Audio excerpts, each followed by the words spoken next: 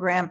And as Matt said, with the, the IRA just pat recently passed in Washington by Congress, we're going to see a lot of initiatives in the area of renewable energy. So I think we should all be hopeful and, uh, you know, continue to, oh, and, and continue to work together on this. Okay, Thank you. thank you. Thank you very much. Quick, quickly, Lisa Rose, I, quickly. I'm also very happy that you are now all very intro. Oh, I am very happy that you're all now very interested in staying highly educated on this complex manner, which is to the benefit of the town and to the benefit of all of us. And I will, be- we will be as flexible and we, I am so happy that now you are saying you will be flexible and interested and sincere about this task that is before us. Because previously, we felt that you were not as interested in getting your knowledge up to date. And now you are, and I'm so glad.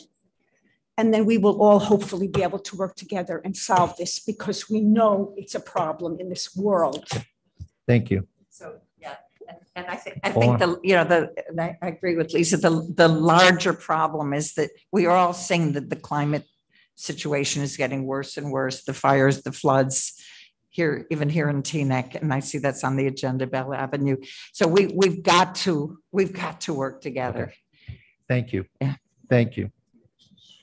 Okay. All right, on to new business.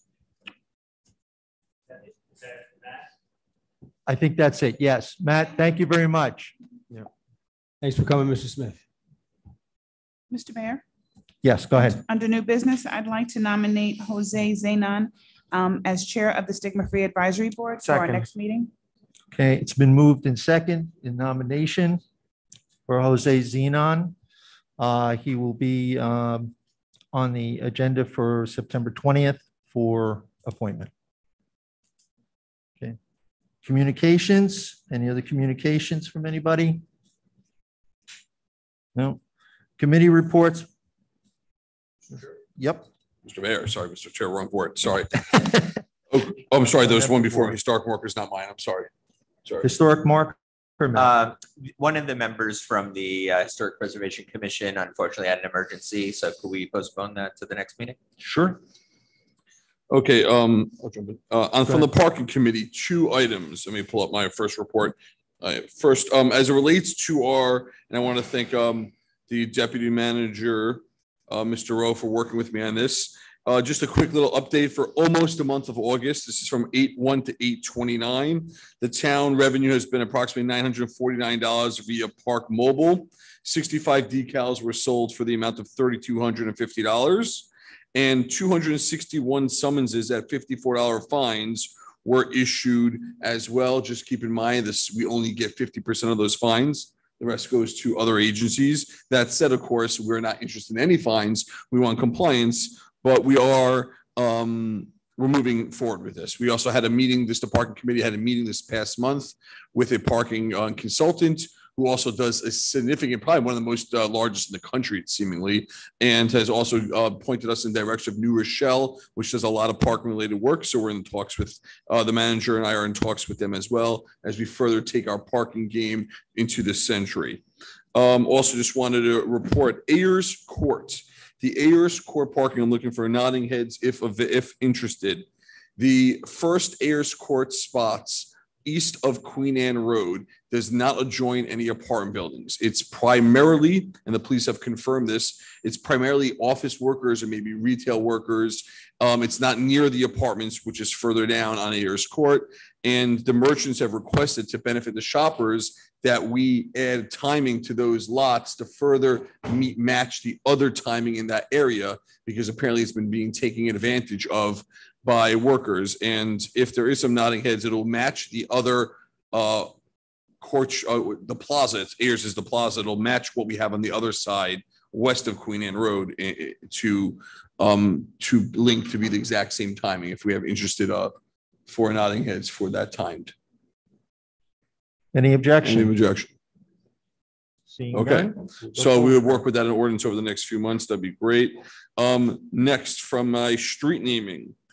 Um, it's, we've been requested, asked, and I am honored to request council permission to put on the September twentieth meeting to rename either a portion of West Englewood Avenue uh, between, uh, in front of Congregation Rinat Yisrael, which is at three eighty-nine West Englewood Avenue, or a portion of Amsterdam Avenue in front of uh, Torah Academy, which is sixteen hundred Queen Anne Road, in honor of the retiring Rabbi Yosef Adler. Rabbi Adler was the principal of Torah Academy for twenty-five years and educated thousands of uh, students, uh, um, including myself, or at least tried to.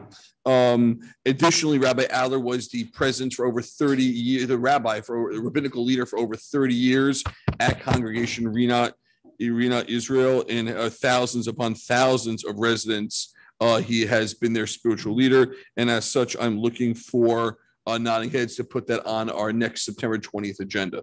I'm in favor, Mr. Mayor. This I'm in is in favor. front of Rinat you're looking to. do? I re, I, I would try to get the exact answer from them. Is it preferred to be Rina or uh, Torah Academy? I, I prefer Rina, I think so. I prefer the Rinat, so- of- and I think that's also, I, I would say, Yeah, I think okay. it serves a larger section of the community. and I would work with you in certainly getting the information. Uh, Any for the objection? individual. Hearing none? Okay. Go for it. Yeah, he's leaving, he's retiring, he's leaving this country, so we're trying to get it done in October. Okay, um, and lastly, just to mention to everyone here, just something to think about this, there's been some conversation as uh, COVID is gonna be, uh, moved on, hopefully, um, of naming part of the hospital, uh, in the road nearby the hospital in honor of, of Mike Maron and Maron Way or something. So just please keep that in your minds for the next few months, whether it be uh, Chadwick or Grange or whatnot. Chadwick Is what we're closing or vacating for the hospital.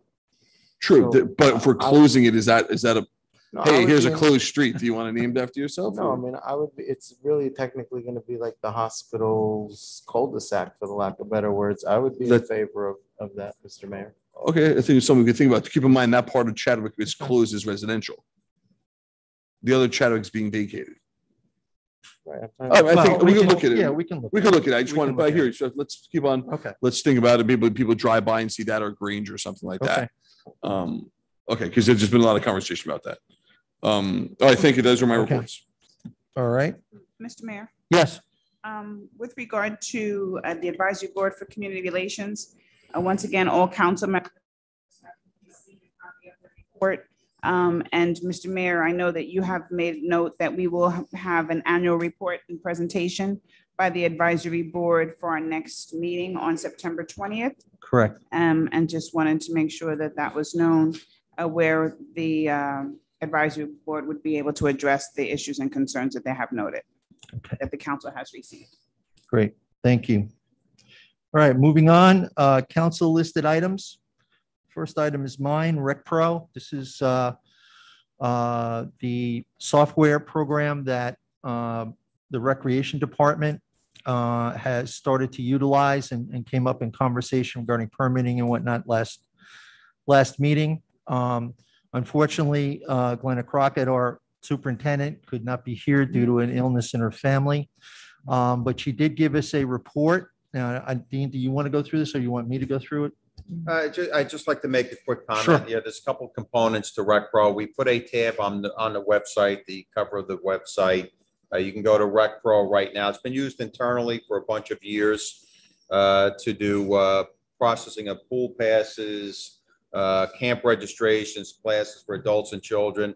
Uh, What we've, excuse me, what we've added to this recently is the uh, residents can now create a profile by going right online view all the course offerings for the fall season, the children, adults, and seniors. You can upload documents, proof of residency, medical releases, uh, proof of age, your COVID-19 vaccine card. So that's all in place now. You can look and view the park and road facility calendar as well, uh, in case you're looking to uh, use the facility. Um, The second component to this is Forte, which is going to handle the financial component.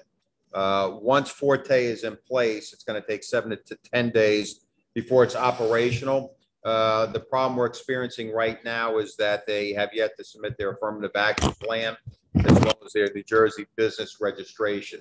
So as soon as we receive that, it's going to take seven to 10 days uh, to implement the financial component that will allow residents to take care of everything online and pay whatever they need to pay online as well. So that, that's kind of where we, we've really stepped it up over the last couple of weeks to get things in place and, you know, it should be, should be done relatively soon. And, and as part of her report, uh, Glenna indicated that residents can now log on and set up their own profile. Okay, you can view course offerings from uh, the rec department uh, for the fall sessions for children, adults, and seniors. You can upload documents for proof of residency, medical releases, uh, proof of age, COVID-19, vaccine card, et cetera class registrations. This will start to become available uh, in terms of financial as soon as we get uh, that company online, as Dean mentioned. Uh, It will also give people a view of park and Rodda Center facilities and their calendars. The calendar is already up and has most of, if if not all of the current permitted activities in the, in the uh, parks already listed. And again, this is all available. I think it is it, it's on, it's on the, uh, it's on the left menu, right? Of the main, right. It's a tab on the left-hand side of, of the main webpage. Um, and again, they, they're in the process of blocking off all the priority users, and that will be part of our introduction to a new ordinance this evening. Um, and then we will be, they'll be training the staff and we'll be getting started. So I'm very happy that this is way, way down the road. Uh, It's been a long time in coming. And uh, I think it's going to solve a lot of the issues that, uh, that, that people have experienced uh, in terms of having to go to Rodda to pay for classes and things like that. So uh, I'm hopeful that this will, uh, this will do the job. Mr. Mayor, Yes, just a question from the Chair of the Senior Citizen Advisory Board. For anyone that's still comfortable dropping off a check, they can still drop off a check. yes, absolutely. Yep. Sorry, Mr. Mayor, it's- everything that said sounds incredible. Is there a way in the next meeting or two, we do a five-minute display that will walk through the public on there? Actually, Yeah, not, on- not only that, and I know Councilman Kaplan and I have talked about this. I, I think both this and, and the SDL for, um, for, for the buildings department especially, we, we probably should do some type of Zoom education for the community and show people how to do the logons, how to get themselves, uh, logged in and setting up accounts both, for both, uh, SDL uh, and for, uh, and for the Rec Pro. Uh, So I, I think your suggestion's a good one. We can do it here. We can do it quick and dirty so people see it. Uh, But then I think a, a further education, because it, it does take a little time to get through and get logged in. Without logging in, you can see, you know, what's on the screen right now. Exactly. You can click on, classes, for instance, and see the program. Correct. You can open them uh, just like this and see what's being offered there. You can get the information about individual programs and where they're located.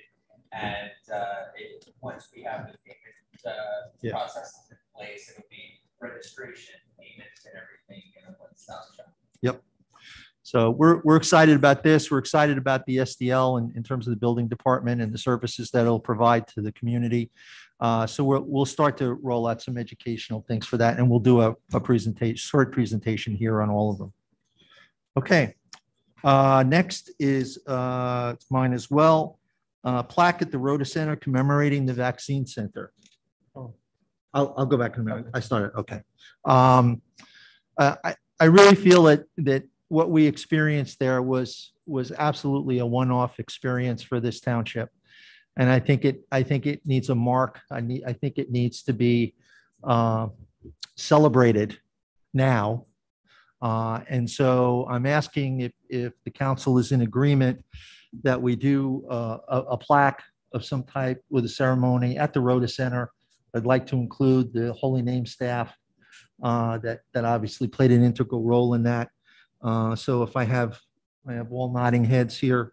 Uh, Dean, if we can start to move forward, Yeah, Mr. Mayor. Uh, that would be, that's a very good idea, Deputy Mayor. Be, be in March. We opened it up in December. Yeah, yeah. Yes, let's see if we can do that. Yeah.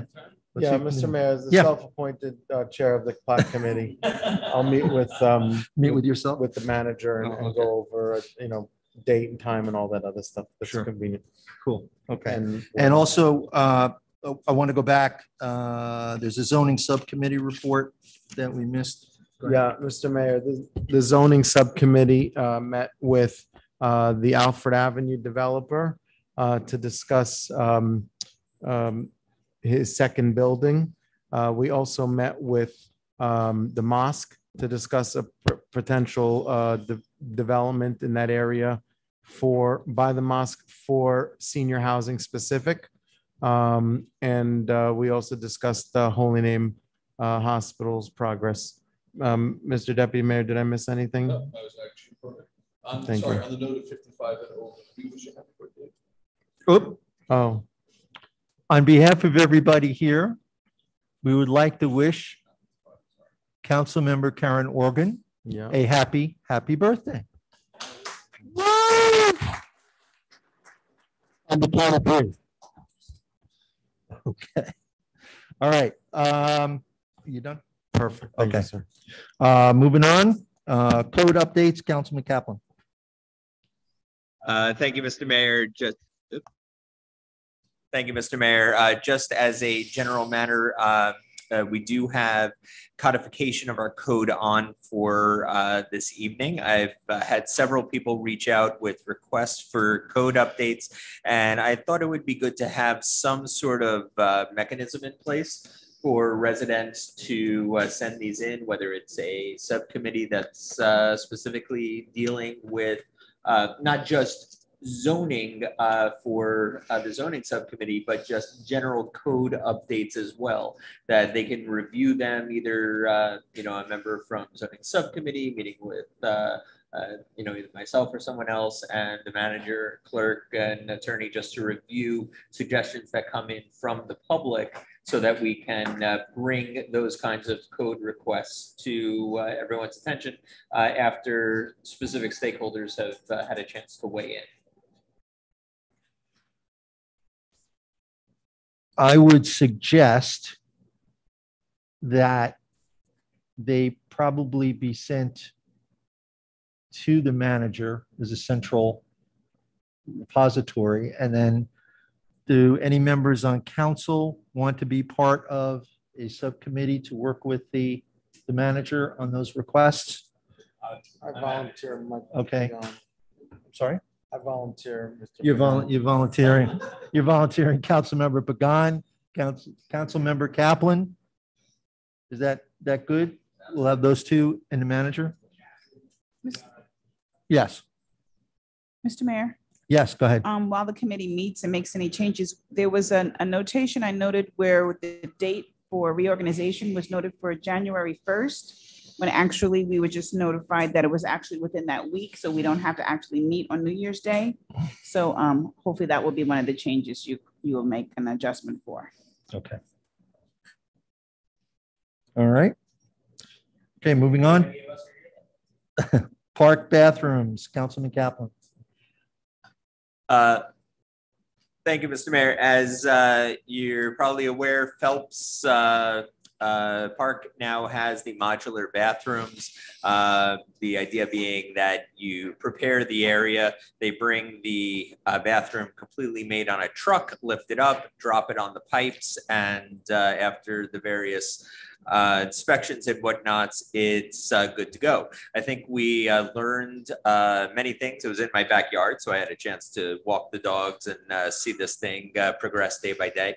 But now that we've learned where some of the hiccups and things to look for on this are, I'd like to engage the PPRAB and REC and various people. I know that uh, is certainly in need. I think that's a special case that should proceed in parallel, but I'd like them to uh, identify based on both current use and optimal use for uh, where the parks could be if they're uh, being used at their highest and best way on where we should do bathrooms first. I'd like to see uh, uh, similar bathrooms uh, put into every park. Um, you know, to do as many as we can per year and uh, uh, do upgrades alongside them. Councilman, do you want PPRAB to select a specific spot in each? If Park, is they're that what you willing want? To do a recommendation on where, even better. Uh, more info, the better. A- ASAP, before someone has to go, if possible. Mayor? Go ahead. If I could, we, we do have a six-year plan for parks. We prioritized, again, the goal is every year, um, we go in order, uh, we renovate the park, new playground equipment, new sprinkler system, uh, new bathrooms and a rubberized surface. Again, you're looking at one point, probably two million, one point three million dollars. So there is a plan in place. Uh, we, we just have to implement it and we have to allocate the money. So we do have a pecking order for the priority of parks that's already, already done, and I think that went through PPRAB. Yes, yes, it did. And in addition, I, correct me if I'm wrong, Dean, isn't in the, um, in the capital budget, the, uh, the Votee North bathroom? Yes, that's in the, that's in the current capital Right. budget and in the plan design phase. And not to get on, on capital, but the Votee Park pool and the amenities will be uh, something I'm going to ask council to approve for 2023 capital. Okay. All right. Mr. Mayor? Yes. Um, and Dean, as you mentioned that schedule, is that something that's available or that can be made available um to residents so that they can see the plan and proposal of which parks and the order, just as we do with our street paving, so residents are aware of uh what order that's taking place? Sure. With, with, uh, with the parks, I believe in our six-year plan, it does identify uh, the parks uh, that we want to do in specific order. Uh, But it's in the as- plan, so you have to actually go through the plan to find it, or is there a No, way it's right on, the- it's on our um, budget page on, Mhm. on the website. Uh, If you go to budget 2022 budget, you'll see the Mhm. six-year capital uh, plan, and it will show the pecking order for the parks that we want to do every year. With regards to road resurfacing, again, this is the time of year that we uh, start evaluating the roadways. Uh, So we're doing that now uh, for the commencement of the 2022 road resurfacing project in 2023. So we're in the process now of evaluating the streets. Uh, Probably late September, sometime in October, we'll finalize it.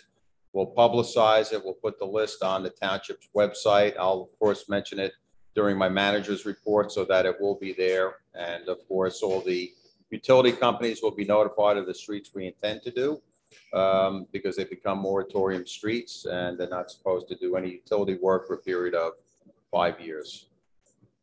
Okay. And finally, online programming, Councilman Kaplan?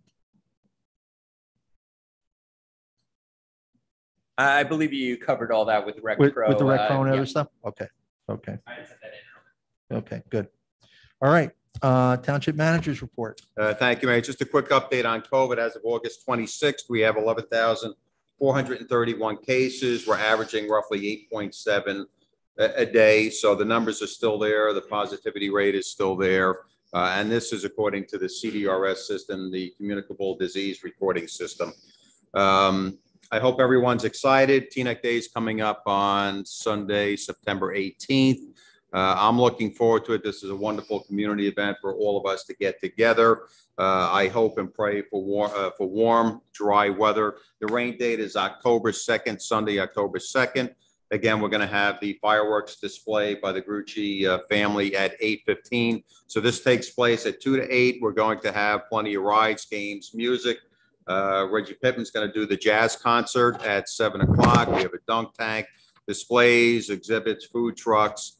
Uh, So there's a lot to do that day. Uh, We're uh, trying to get as many restaurants as we can, local restaurants in town, to showcase their food. And we're going to do that inside Gym One of the Rodda Center. So we have room for roughly 30 restaurants to set up. No cooking allowed. You have to be licensed with the Township's Health Department. You can bring prepared foods, keep warm with sternos, uh, the cold food, of course, with ice. Could even be beverages. uh, a coffee shop that wants to come there and sell, not a problem.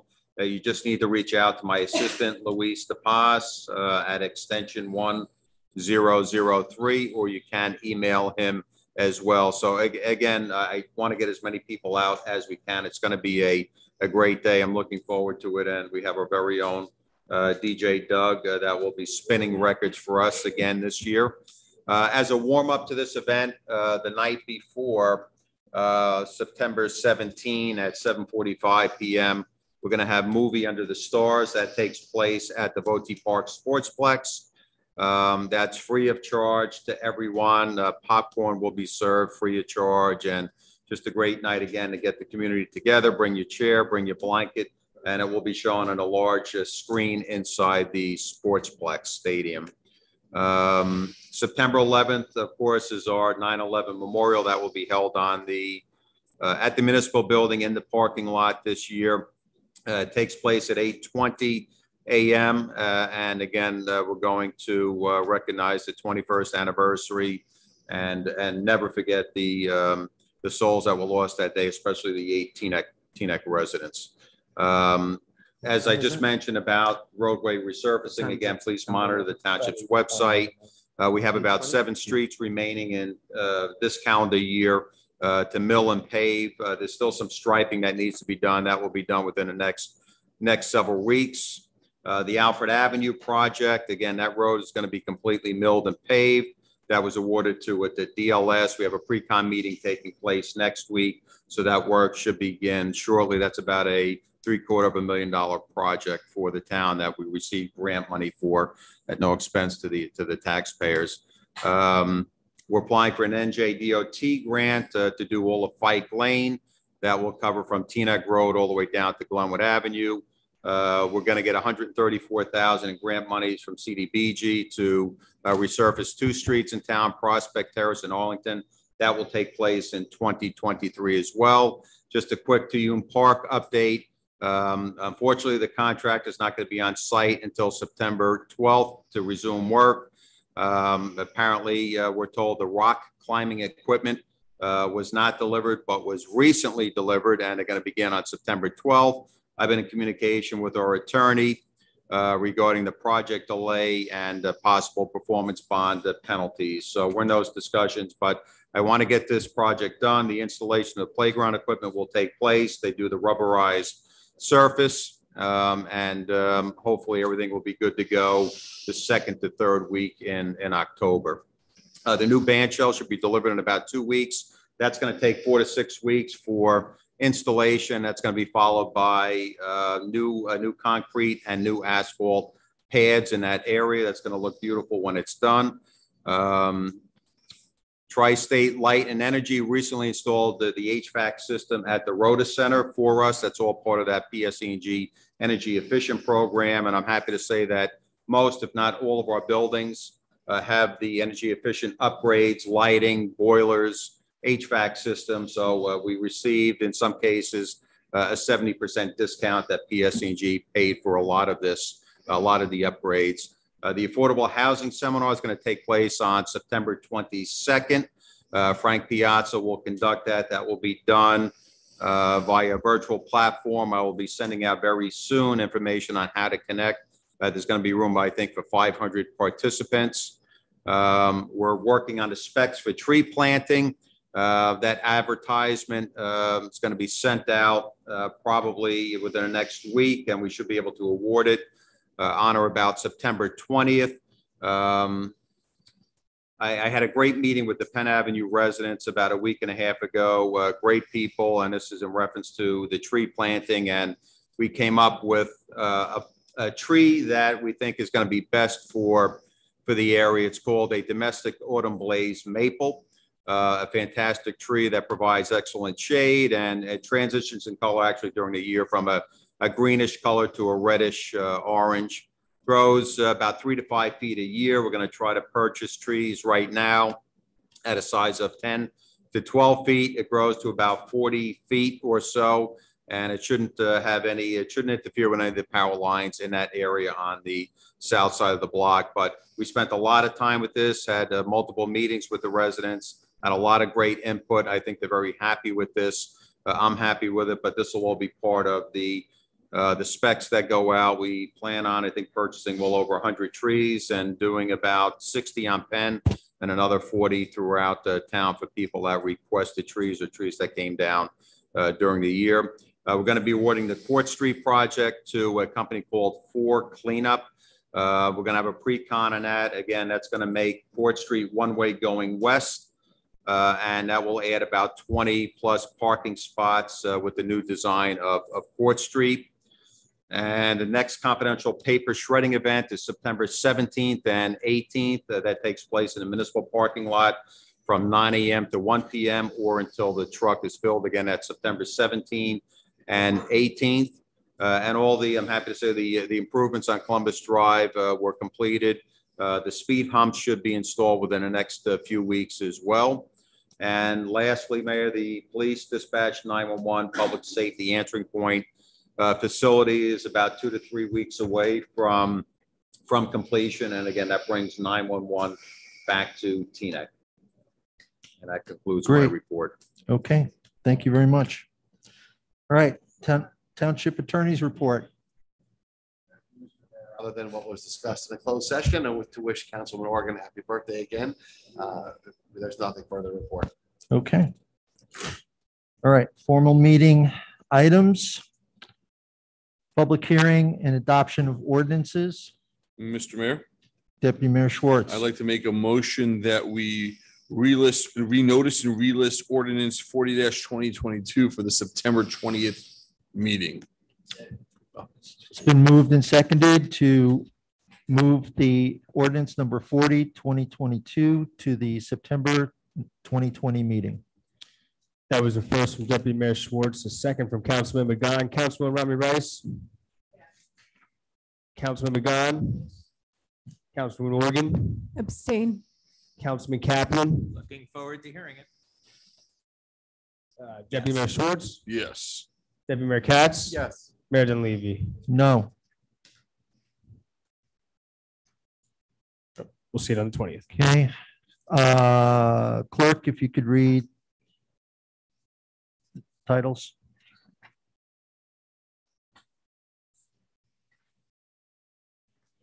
Absolutely, Mayor. So we are excluding ordinance forty that's been tabled to September twentieth. We still have a few other ordinances we are second reading this evening.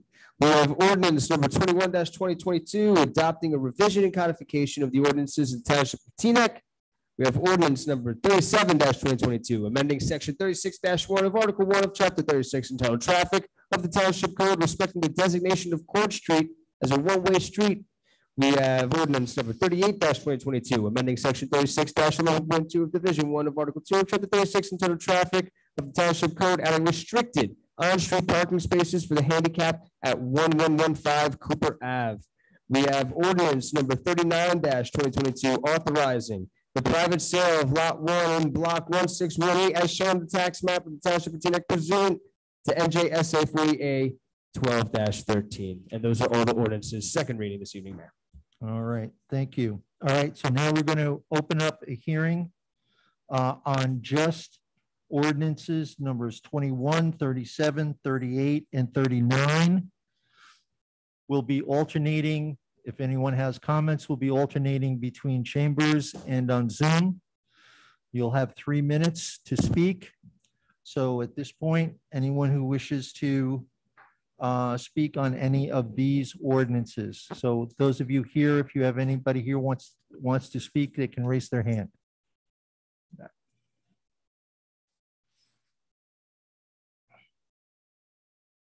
Good evening, Alan Stone, Teaneck resident. Uh, With any ordinance, we should ask why it's being passed. How will it be applied? And are the changes fair and reasonable? To start, there is not one explanation, let alone a whereas clause in ordinance 21 for any of the several dozen changes in more than 30 pages, most of which are utterly trivial typo corrections. Next, will these overall changes in the code even be followed? Let's look at history. Section 3334 on affordable housing has some minor changes, but what's not changed is paragraph two, which still states, quote, low and moderate income units shall be integrated with the market units. The illegal segregation in the Kushner's Haluba application was clearly pointed out to the planning board. Uh, And despite that, that board voted in favor of that illegally segregated development. When residents came to this council to protest, Keith Kaplan insisted that the law didn't need to be followed. Keith brazenly dared residents to sue. We did, we won. Haluba will be fully integrated, even though Keith Kaplan said it was impossible. But this ordinance is even worse. Elie Katz said on May 31st that he drove around town and that, quote, nine out of 10 homes are susceptible to a complaint by a code harassment officer. At that same meeting, Keith Kaplan said, we have so many laws on the books, we can find violations anywhere. Now he's turning that threat into a cash cow. Keith Kaplan fixed the code and now he wants to hit you with a general penalty in section 1-6 with a maximum fine, fine that has been quadrupled to $2,000 what would be a crushing financial burden for most residents. Most of the time, we never find out who's to blame, but Keith has been bragging that this ordinance and raising the general penalty is one of his accomplishments over the past four years. This isn't about fixing problems. It's a way to abuse residents and take money out of their pockets, $2,000 at a time. We know that the data shows that the people who are hit with these fines are disproportionately poor and minority. These are the people that Keith Kaplan is targeting, knowing full well that many of his victims will be unable to pay their fines. I will do everything possible to oppose anyone who supports passage of this ordinance as is. I will fight against the hypocrisy of people who claim to be against enforcing laws and then brazenly pan, plan to pit neighbors against neighbors against each other to impose $2,000 fines. Tonight, how can any of you on council vote for an ordinance with such crushing fines? How can anybody support fines that can go up to $2,000 as a tax, an unfair tax on innocent residents? Please. Anybody on Zoom? Okay. Yes?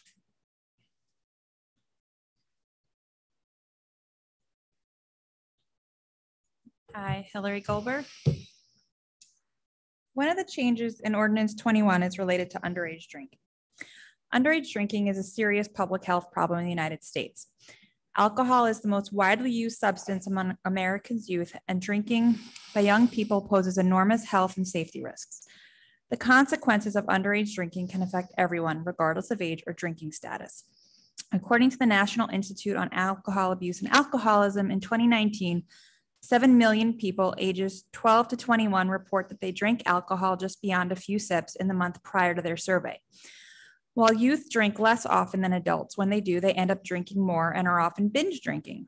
Some of the health risks associated with underage drinking are impaired judgment, which results in injuries, which may require those individuals to need medical assistance.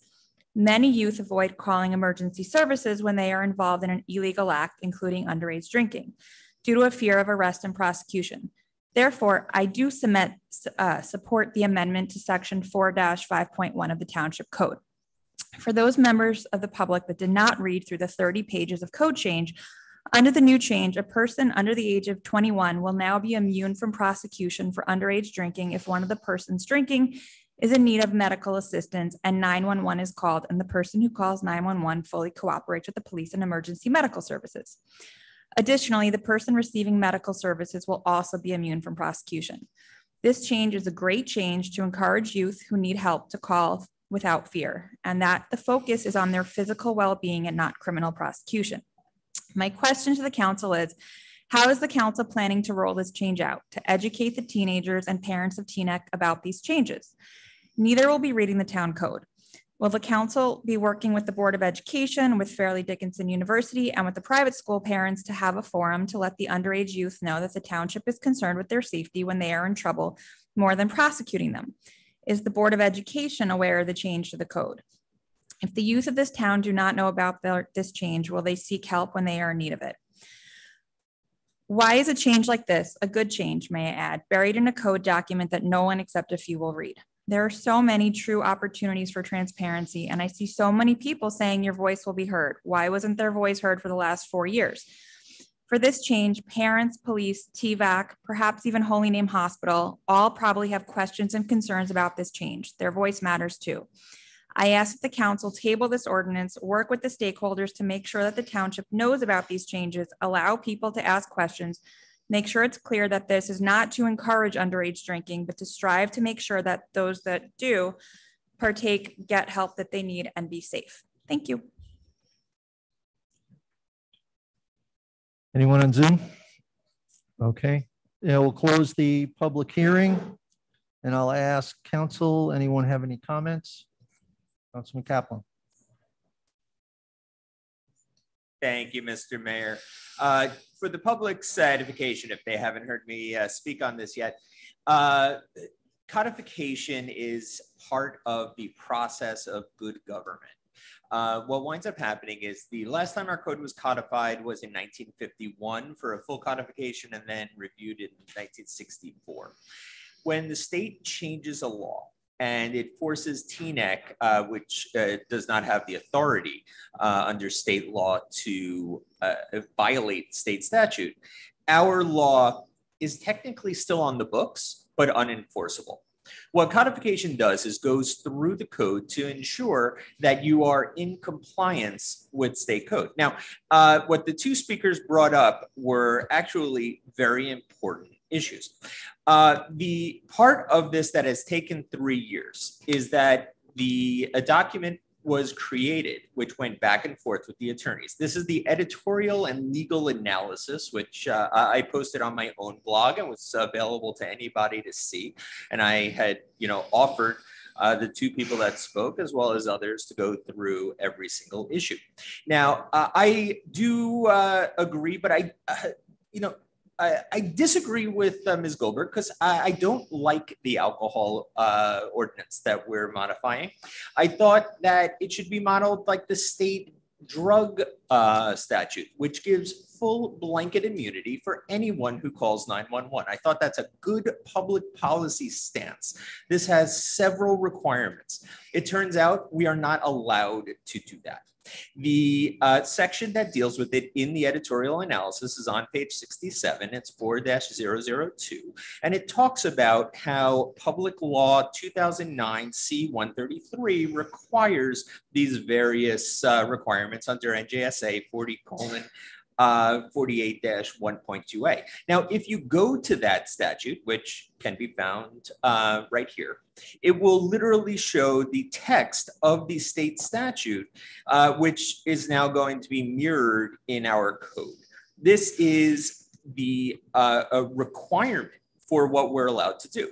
So in terms of is a the Board of Ed or various others uh, aware of this, this is literally the state statute that everyone has been operating under.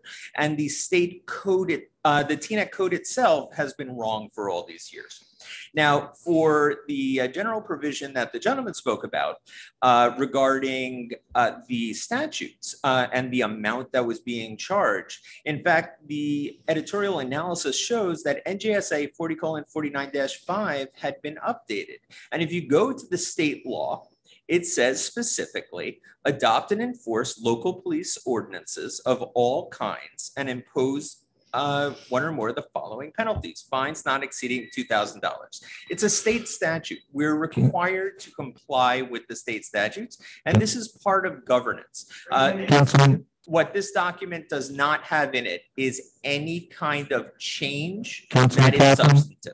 thank you. Thank you. Mr. Mayor, Deputy Mayor? can, can I just ask uh, Councilman Kaplan, since he was the author of, of uh, this ordinance, can he just address in simple English the two thousand dollar violations that was mentioned by one of the speakers? And if- that was the one. I, I didn't, I didn't quite understand. In simple the- English. is- is- Are you saying, is this something that we're adding or is this something that's already there? This, we had a section in the code regarding the amounts. The state statute requires that all 565 municipalities in the state of New Jersey have a set amount, which is the $2,000. This brings us into compliance with the state statute, which we had to abide by anyway. Now our code says it in the letter. But if we didn't Okay. do it though, I mean, We would not be in compliance with state uh, right, my, law my as concern now been. obviously is hurting residents with, with the Uh, enforcement. You know that that's big on, you know, so. I believe our attorney is, uh, just. if you can Our- just, the Yep, go bottom line is that, as the council, as Councilman Kaplan said, the state law requires us to have all of these change, or a lot of the changes that are in the new code. This specific one with respect to the penalty is set by state statute, and the judge has discretion as to what penalty to mete out. And, you know, what I'm hearing is there's no confidence in our judges, and that's absurd because we have two of the finest municipal court judges uh, in the, in the township of Teaneck.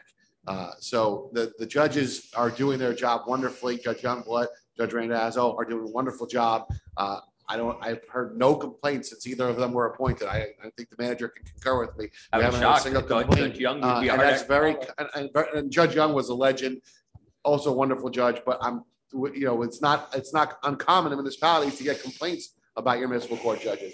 They mete out justice in a very fair manner, just like their predecessor, Judge Young did. And I think it's absurd to, for anyone to come up here and make a comment that we're imposing uh, a two thousand dollar fine on the backs of residents.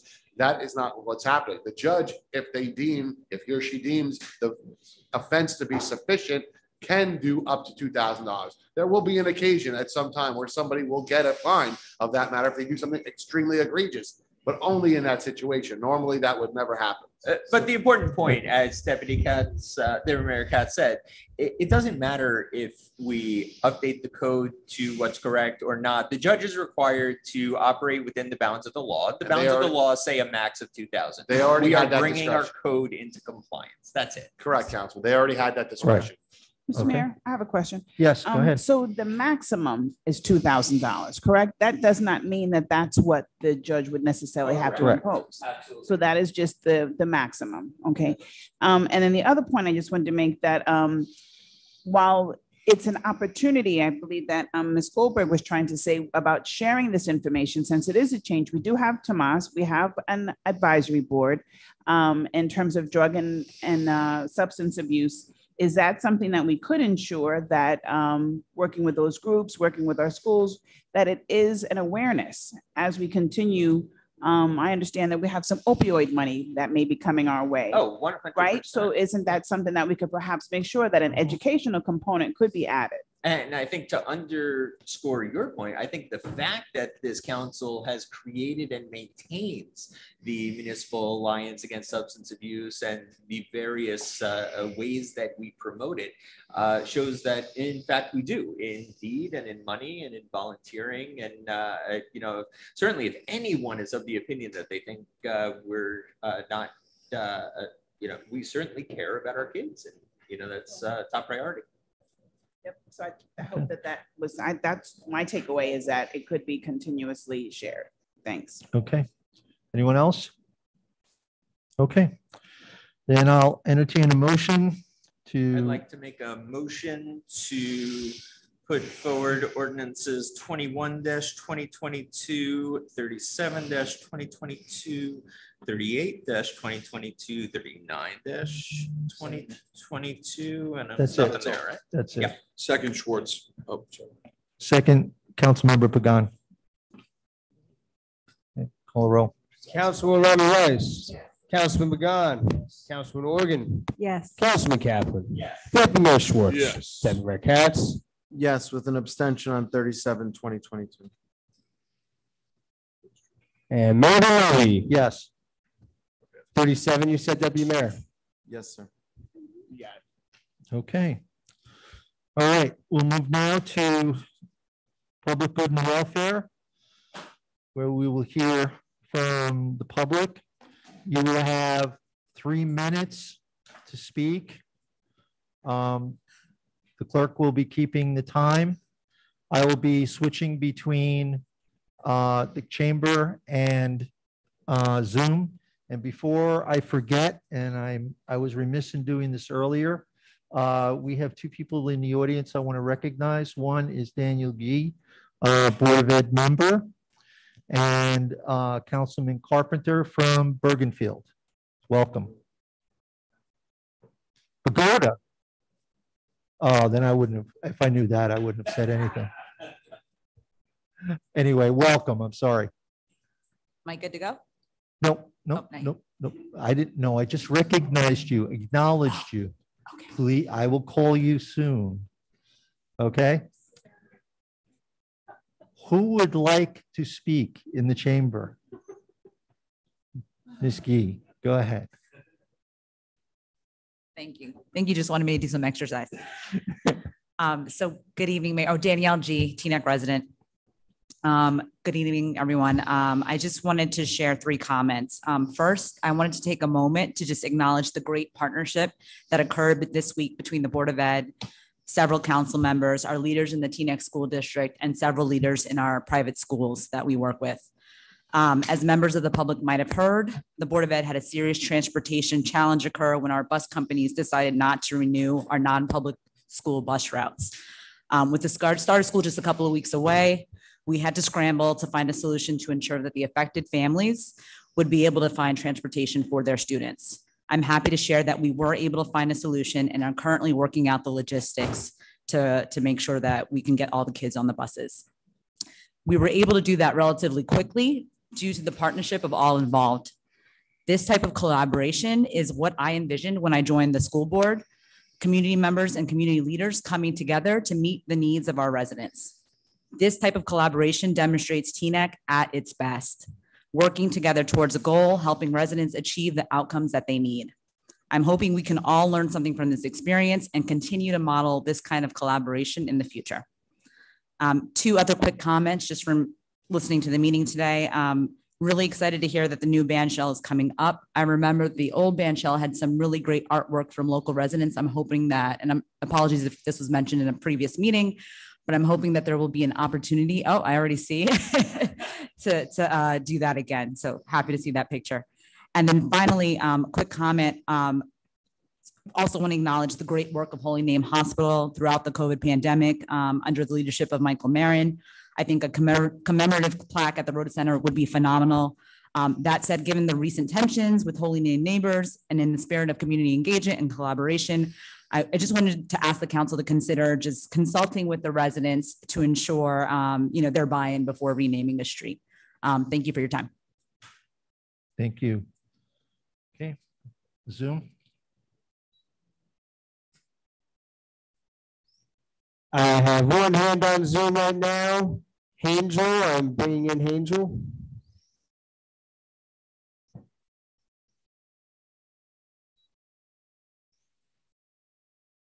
I didn't start your clock. I just. Uh... Angel, whenever you're ready, please speak your name into the record and we will start the clock. Hi, good evening. My name is Maxine Angel. I'm not sure if you can see me. Angel? I don't, is he? Oh. Okay. Hello. Hi, good evening. Ye, We can't hear you. We can't. Can, can you hear me now? You're very low. Put that microphone a little see. closer. All right, let's see here. Sorry. All right. And Still can't hear you. can't hear you. All right. I, Let- all right. let's There might be hold something with your microphone. All right, let's hold her for one We're gonna, hold- second. we're gonna hold your place while you figure out that microphone and we're gonna Okay. go to someone in Sorry person about that. here. Okay? Yes, ma'am.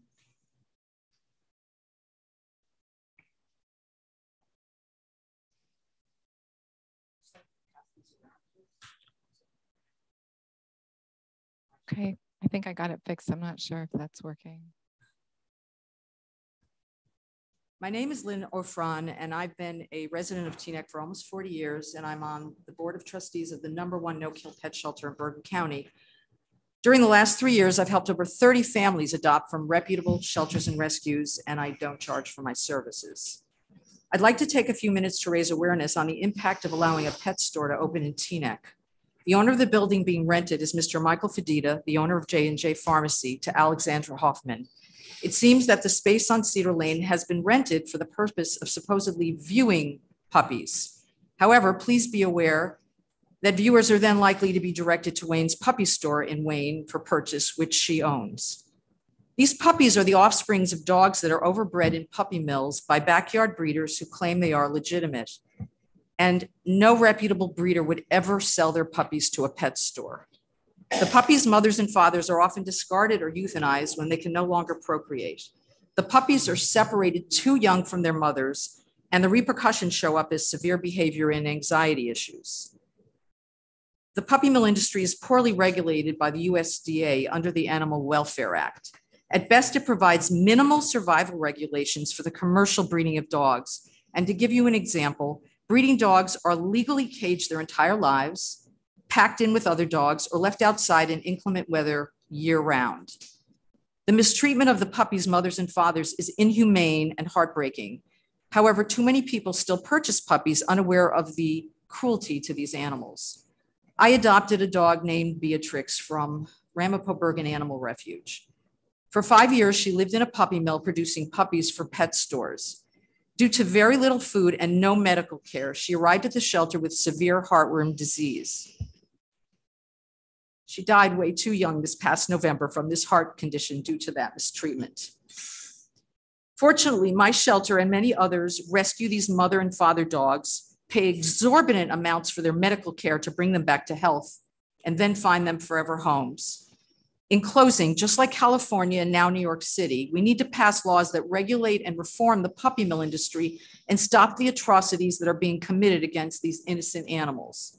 Let's remember that animals are God's creatures, they deserve our compassion, and we cannot close our eyes and pretend this situation doesn't exist. I urge you to take action. Let's be the kind of town that leads the way and sing to it that our canine companions are treated humanely. Thank you. Thank you. Someone on Zoom? I don't have any hands on Zoom right now, Ma- uh, Okay, right now, Mayor, sorry. okay. Yes,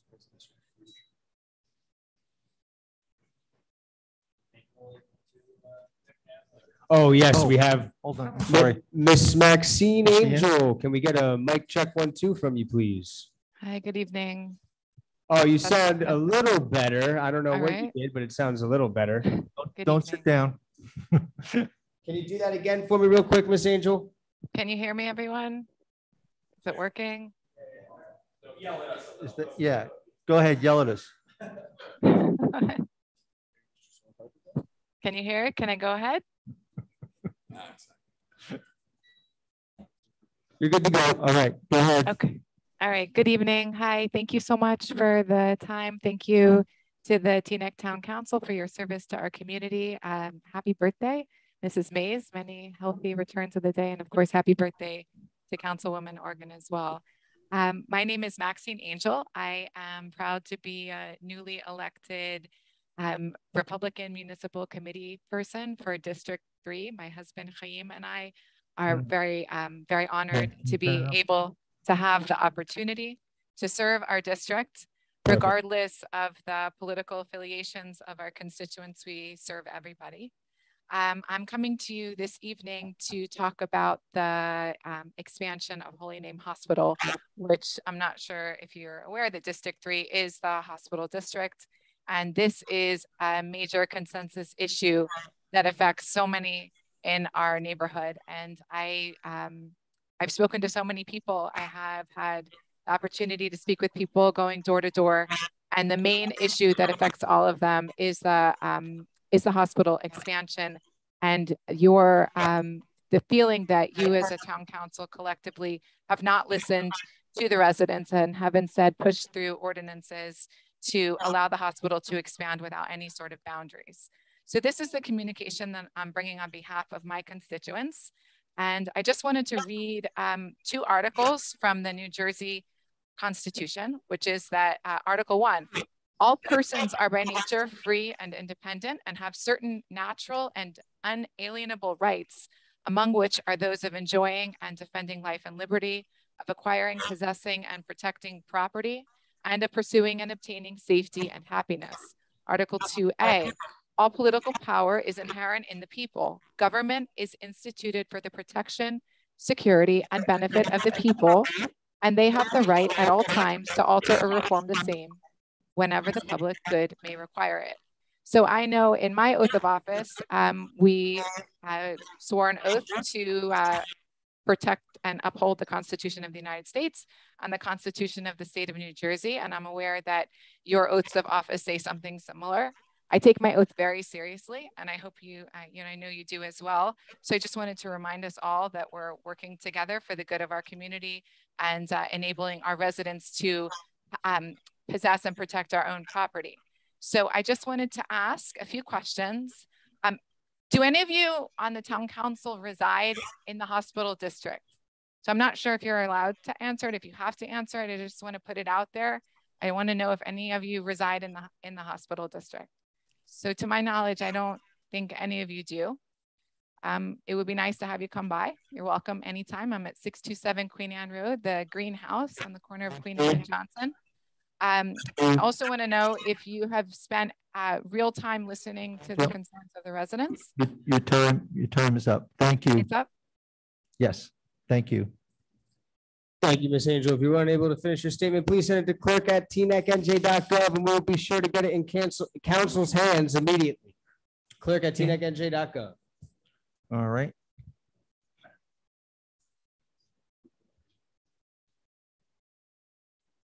Good evening, everyone. Thanks for having me. Uh, My name is Julie Cardonic Rosen. I've been a Teaneck resident for 28 years, and my goal in speaking here tonight is to educate and inform the public. Uh, a September 2016 People Magazine article about Puppy Mills mentions by name the owner of Wayne Puppies, her name is Alexandra Hoffman, and he writes about Wayne Puppies, uh, that Wayne Puppies had been selling puppies from two kennels cited by the USDA for significant violations. Uh, one of them was for keeping small dogs outside in sub-freezing temperatures, and the other was for shooting dogs in the head at close range as a form of euthanasia. The article also wrote that Wayne Puppies was selling puppies from an Oklahoma breeder cited by the USDA for numerous violations of the Animal Welfare Act. The hard facts are that 3 million animals are euthanized in US shelters every year while they're waiting for loving homes, while about 2 million puppies are produced by puppy mills annually. Puppy mills are located all across the country, including right here in New Jersey. They're bred here or they're shipped here to supply pet stores with puppies to sell, and all pet store puppies are puppy mill puppies. Legitimate breeders do exist, but they're very difficult to find and they never sell to pet stores. If puppy mills didn't exist, there would be 75% fewer dogs in our shelters across the country. That is the significant impact the puppy mills have on overpopulation of dogs. As Lynn said, these mother and father dogs never get to step foot on grass. They almost never get the chance to experience sunshine. Responsible breeders breed maybe one or two litters a year, maybe four or five pets, uh, four or five puppies in each litter. They take care of their dogs. They love their dogs. They are not the problem. Puppy mills are the problem. We need to follow the example of New York City and of California. And we need to lead on this issue, not be known as the town that brushed it under the rug and allowed the sale of puppies that come from puppy mills in our town. Thank you. I, I got a hand on Zoom, there. Go ahead.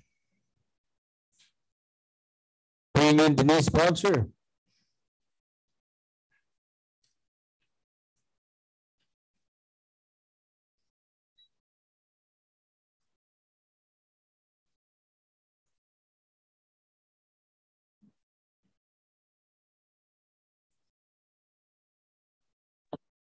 Hi, good evening. Good evening, everyone. Good evening. I just wanted to chime in and just um, uh, kind of speak a little bit about the renewable energy discussion that we had earlier today. And I just want to give kudos to to um, Paula and um, friends at CCNA that um, you know it, it's very important that we really address partnerships and uh, really kind of explore everything that we can to to engage in alternative energy. I think it's it's uh, we can only just turn on the uh, six o'clock news to see how energy impacts um, us all, in particular our neighbors throughout different parts of of, of the country. So kudos to um, Paula and her team for really being vigilant in in terms of uh, making the decision to um, to bring this to our township, and um, I really think that it's important that we continue uh, at all costs to um, to engage in this discussion. Um, I just want to uh, uh, speak for a minute about uh, the AINR, the um, areas in need of redevelopment. I think we're really kind of uh, needing to look at. I know that you guys have tabled a couple things for September. I just want to speak, however, to the fact that um, it is the uh, areas in need of redevelopment um, method of uh, planning or development within our township um, is kind of riddled with issues that I believe that are uh, that are not clear-cut criteria for what we need to be looking at in terms of development. Uh, it creates a less than ideal litmus test for development. We need to use smart development tools and techniques, and the major tool is that of a master plan. Developing using areas in need of redevelopment uh, incentivizes absentee landlords um, who have um, not um, uh, the best interests of our township in mind. Uh, I think rather than uh, the use of, uh, of a code enforcement uh, should be our guide to uh, basically ensuring that property owners are keeping up with their with their properties. Um, I strongly encourage the council to take a serious look at the engagement of a comprehensive plan, uh, returning to the master plan. Uh, in the last 18 months, there you have uh, uh, indicated nine areas of need in need of redevelopment. Um, five of which are in the Northeast. And I think that in and of itself is an issue. I think there are, that there are areas in, uh, in other business districts from Cedar Lane, DeGraw Avenue, and the Plaza that visually can uh, be looked at as blighted or less than appealing properties. So we should all be concerned for residential neighbors whose properties um, that are being checkered with uh, next to properties that are in need of, of redevelopment and those that are not. So I implore the council to really take a comprehensive look at developing by way of areas in need of redevelopment. Thank you and have a good evening. Thank you. Okay. Yes.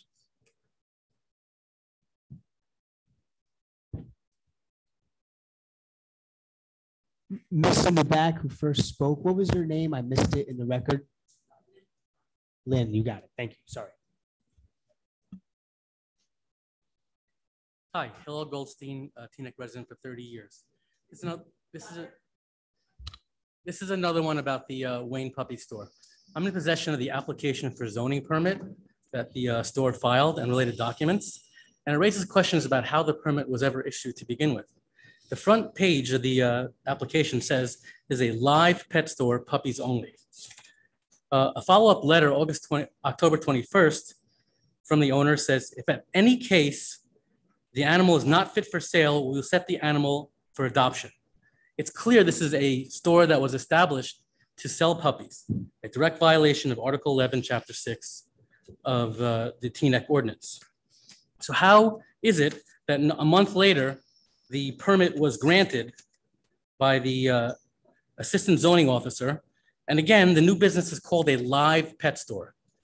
How could that happen? Did the, did the, does the clerk not know the law? What if the uh, application for zoning was for a drug dealership? Would that have been given? How could this happen? What safeguards are there going forward to make sure this doesn't happen again? So that needs to be answered. Uh, on top of that, uh, I think it's important to note that Teaneck's policy, as demonstrated by the prohibition against selling the um, dogs, is that we don't want to take part in the potential uh, uh, problems regarding breeders. Teaneck shouldn't be involved in that. And if there's a mistake that caused the, these people to be issued permits, we should do whatever we possibly can to not allow this to happen going forward, but also to stop this from happening now. Litigation, uh, another ordinance, whatever you can, or else um, you're not uh, following through with not just the spirit of the ordinance, but with the will of the people. And I guess of the council that got the ordinance passed. Thank you. Thank What was your name, sir? I'm sorry. Hillel Goldstein. I got a hand on Zoom. Go ahead. I am bringing in Rosalie Greenberg.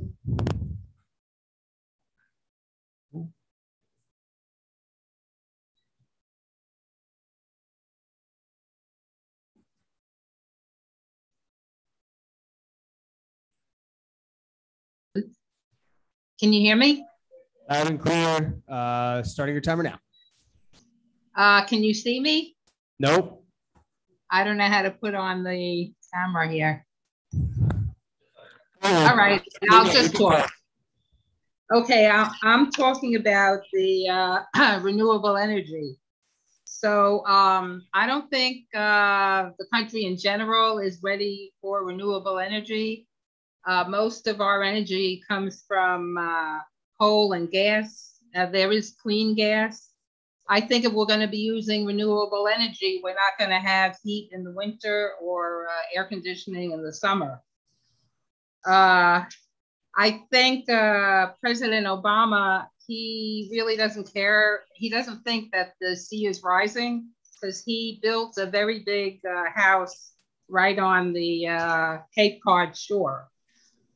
And uh, now we're we're trying to get our renewable our energy, our gas from Saudi Arabia, Venezuela, even China, and they don't care anything about the environment. So, okay, so that's my point. Thanks. Thank you. Okay. Okay, we'll go over here. Go ahead. Start in the bottom. It's cold in here. So I'm, I'm going to make it quick. My name is Randy Glover. I'm the chairman and executive director of All Access Community Development Corporation. Uh, my office is at 800 Catalpa uh, Avenue here in Teaneck. Um, my primary uh, business there is food uh, insecurity and sustainability for seniors. Um, as some of you might know, um, I've been active in uh, delivering food services to seniors and uh, the Bergen County community for the last couple of years. I've been working with uh, um, Holy Name Hospital and about 20 other organizations to deliver food in one in one and a half about one quarter we did about three three quarters of a million dollars worth of food delivery we're also looking to uh, deliver food to seniors here in Teaneck specifically and that would be for seniors 62 and older um, ha handicapped or disabled as well as unemployed and underemployed. Those would be the guidelines. Uh, as you know, the AMI for um, for Teaneck or for Bergen County, when you say low income, low income is actually $63,000 a year, I believe, for a single individual, $38,000 for um, a single individual, which would be uh, very low and extremely low is about $28,000. So I think when we start talking about um, affordability and you know who's who's middle class, who's lower class, and you start looking at what the figures actually are because we live in a, a high income community. Uh, that's what affects who is able to get services. Uh, so I just wanted to introduce myself. Uh, Counselor, thank you for uh, platitude of uh, my uncle, Judge Young. Um, and, and also I recognize a few people, Councilman Pagan, uh, Councilwoman Rice. Um, I've heard a lot of good things about uh, Councilman uh, Katz. Of my um, site managers knows you well and speaks very highly of you.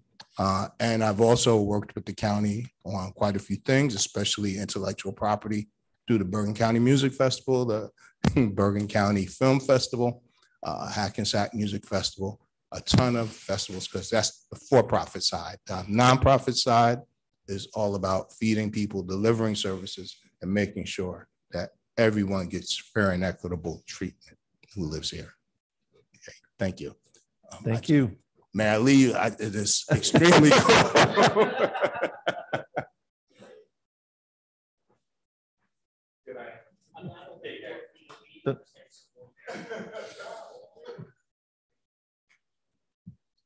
Clerk, can you tell me if anybody's on Zoom, please? It's on Zoom right now, Mayor. Okay.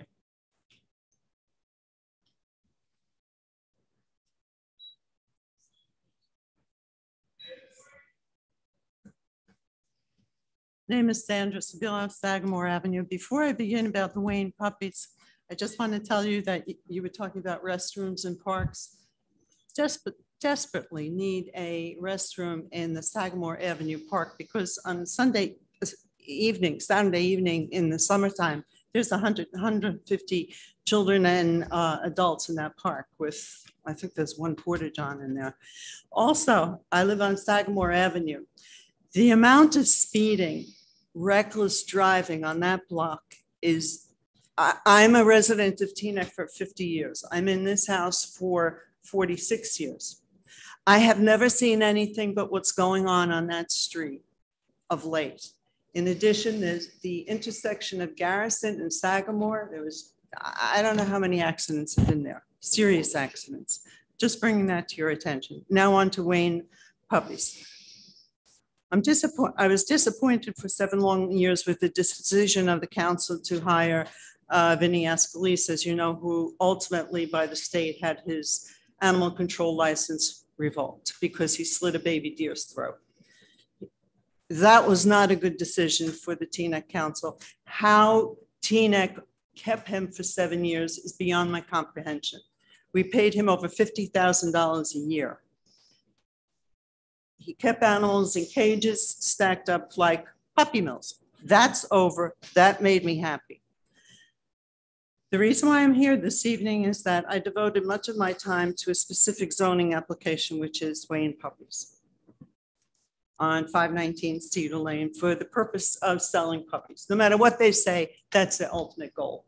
However, they're going to achieve this. I hope it's never in Teaneck, never in this town. I know that franchise for over 35 years from Wayne.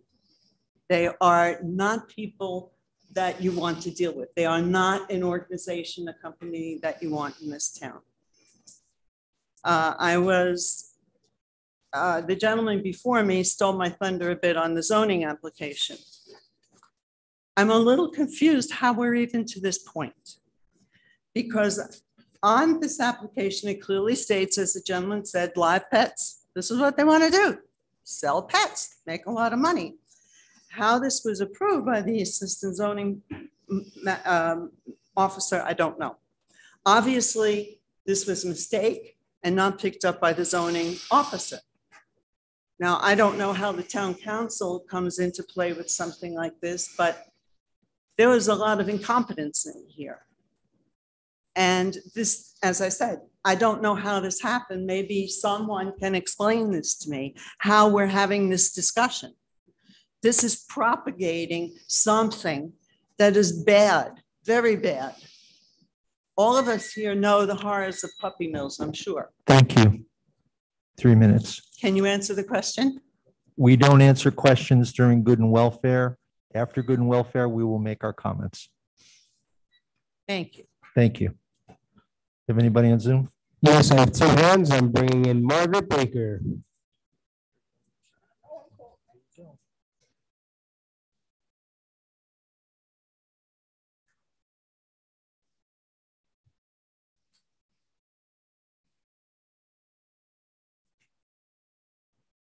Ms. Baker, are you ready? Hello? Yes, we can hear you loud and clear. I'm about to start your timer. Okay, Margaret Baker, I'm calling, I'm still calling about receiving some type of communication about the building that's going up or hopefully not going up on Alfred Avenue. I have been coming, I've gone to the meetings, I've been on Zoom, and I express my concerns, my questions, and I get nothing.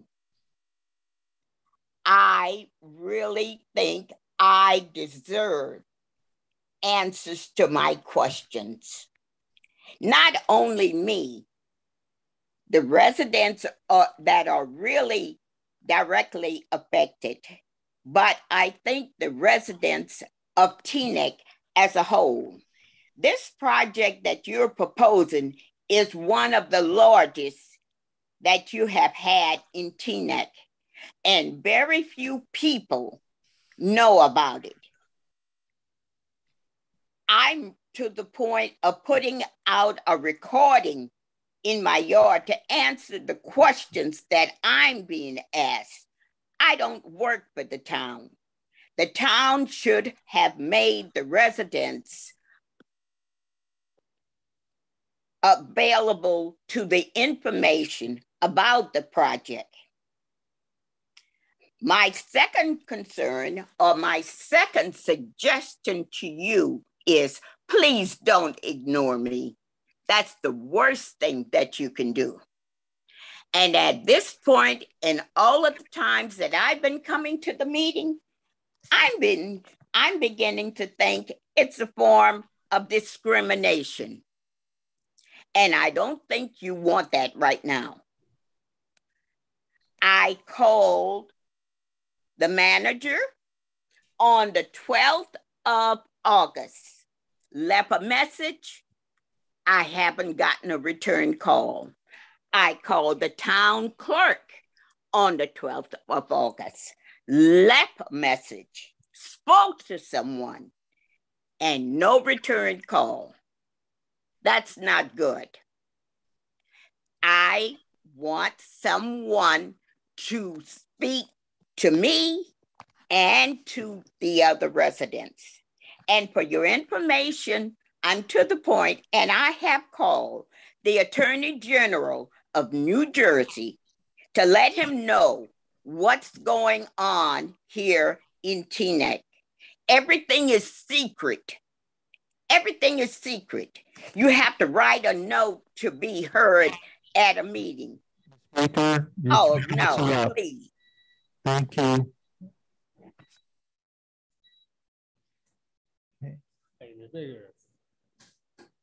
Right, go right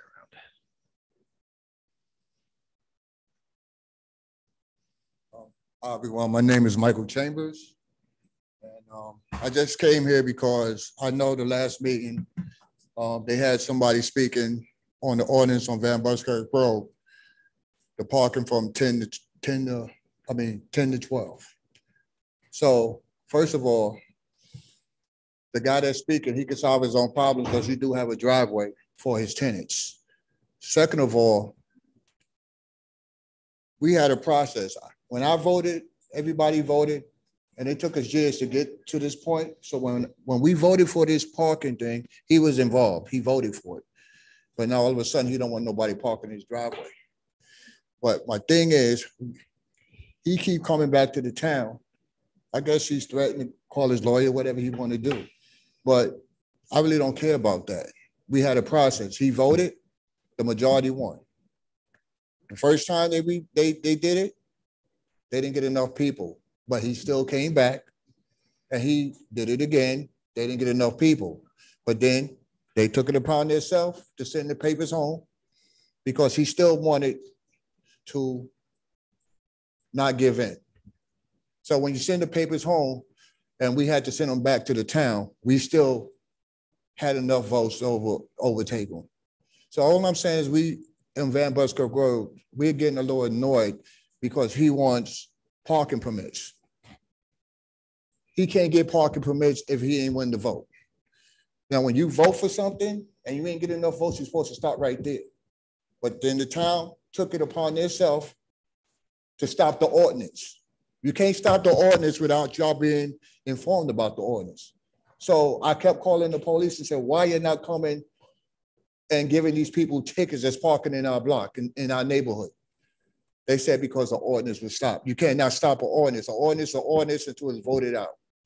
And it haven't been voted out, so the ordinance got to stay. But we're tired of every two weeks, we got to start voting over and over again. If, if we won the vote, it's there, it's on record. We, we, the papers are sent to our house. We sent them back. We had the majority. Let it stay that way. And this is why I'm here. I'm here to fight for, for our rights, not keep giving in to somebody because they're going to keep complaining. They complaining because they don't want to do what they got to do. This is the first time in about 10 years we had to sweep a sweep in front of our block and sweep our streets. The sweeper keep coming down the middle of our street. But now everybody from Teaneck Road from, because the bus stop is right there, they can just come park their cars there all from New York, whatever, and they park their cars there.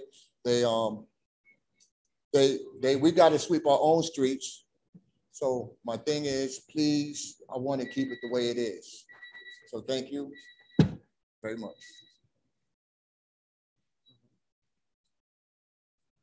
I do, I do, I do have a hand here, Mayor. I am bringing in Cheryl Hall.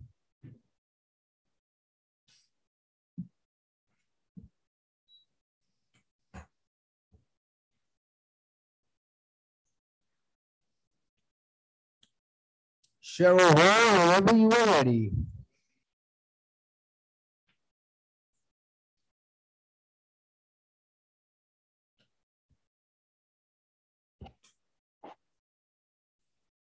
Cheryl? Wait, she, she's coming. I hear her car pulling up right now. All right.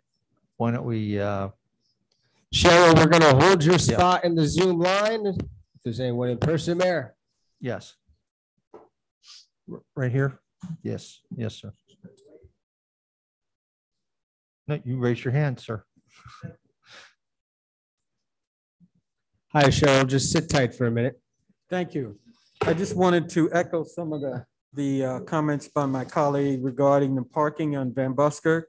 The reason that the ordinance. What's your name, sir? Oh, my name is Paul Wooten, W O O T E N. My father purchased the, uh, the uh, home on that corner of Van Buskirk, Teaneck back in nineteen sixty-one when I was a small kid and went to Teaneck High School and everything else all the way up through college and law school. Apparently, the reason that so many of the residents wanted the 10 to 12 parking is because Galway across the street and the other streets now have 10 to 4 parking. And they have a prohibition against 10 to 4 so that now when people get on the bus to take the 167 or the, the 82 to New York, they bring their cars from all over and they park in that particular hub. That's a very, very, um, uh, very used hub. So we have cars that are parking there all the time.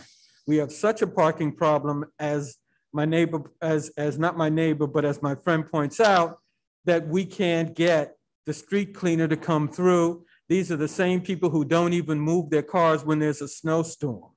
So I know the residents worked for years, and now that we have it in place, we now have some ability to keep the street clean, and we now have the ability to be able to bring cars in and park without having the issues that we had before. The majority of residents voted on it three times in order to keep the 10 to 12. Actually, the original request was 10 to 4. The council cut it back from 10 to 12. So I just wanted to emphasize how important it is for the peace of the block and the people who own the houses and are the residing there in order to keep the 10 to 12 in place. If they roll it, we do have this, this unusual hybrid because we have two buildings on the block that have apartments. And that's where the only street all the way down, whether it's from Liberty to uh, all the way down Teaneck that has this hybrid of these small apartments. So it's these small apartments building that want to remove it, even though they originally voted for it. The problem with it is the small apartments have space to park their car. They just don't want to put it in the driveway to get it done. So I just urge the council to continue the will of the residents who be there and thank you. Thank you. Is Cheryl up? Cheryl, you good? Uh, yeah, you, can you hear me? Loud and clear, four minutes from. Okay, all right. Uh, thank you, uh, members of esteemed members of our council um, and the public that are there tonight and um, wishing Karen a happy birthday. And uh, I, before I talk about puppies, um, I wanted to also make a plug um, to encourage the council to continue to cooperate with the will of the people for renewable energy. And I just want to point out one fact is that, and I know I've said this before, um, the American Lung Association has still given Teaneck and the surrounding areas an F for their air quality. Many of you right up on that dais probably love someone or have a family member that has asthma. Um, and uh, maybe other debilitating lung diseases. The impact of the climate on on the health of people, especially people that are poor, um, it- it's just astronomical. So we need to continue when the time is right. Obviously, the climate, uh, the political climate or the global climate is not right right now uh, with war. So I do understand that, but please, um, it is a worthy cause, and those in the township need this. Um, also, I wanted, I, as some of you know, I uh, take care of people's dogs. I walk dogs and, and uh, dog sit. Um, and I can tell you, um, it's really, you know, there's some behavioral changes or differences from uh, animals out of puppy mills. Um, you know, they're more likely, and I know this is a disgusting statement, but I really want to outreach people to think about it. Animals, especially dogs, puppies, they're more likely to be eating their own excrement because that's what they're going to do in a cage when they're going to in a puppy mill. Um, so then you see those behaviors at home and you have to train them and talk them out of it. Um, I know that that's a, you know, a common behavior um, with animals, but you will see that more likely than not um, because they're not kept in good conditions in cages. Um, I think it would behoove the council to investigate this particular location um, uh, or proposed location to the best of their ability and maybe give some information to the public um, because having a, a puppy store um, like this in Teaneck, it doesn't fit the, our township. Um, and what we stand for um, in, in humane treatment of other people and animals. So I uh, urge you all to take some action. And if not, then maybe we need to band together to, um, you know, the, the residents and citizens to uh, demand more information because we shouldn't allow something like this to happen on our watch. Thank, Thank you. you, Cheryl. Okay.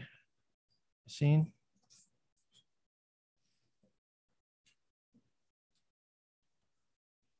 Good evening, outfit of the week. Uh, Thank you for taking care of uh, our parking sign on Elm Avenue. Thank you, manager, for meeting with me earlier this week, uh, this month regarding the pledge to stand up for hate. Um, uh, Mr. Mayor, members of council, uh, it has become a regular exercise for me that I come during good and welfare to share with you the updates about the advisory board on community relations that don't make it to the days.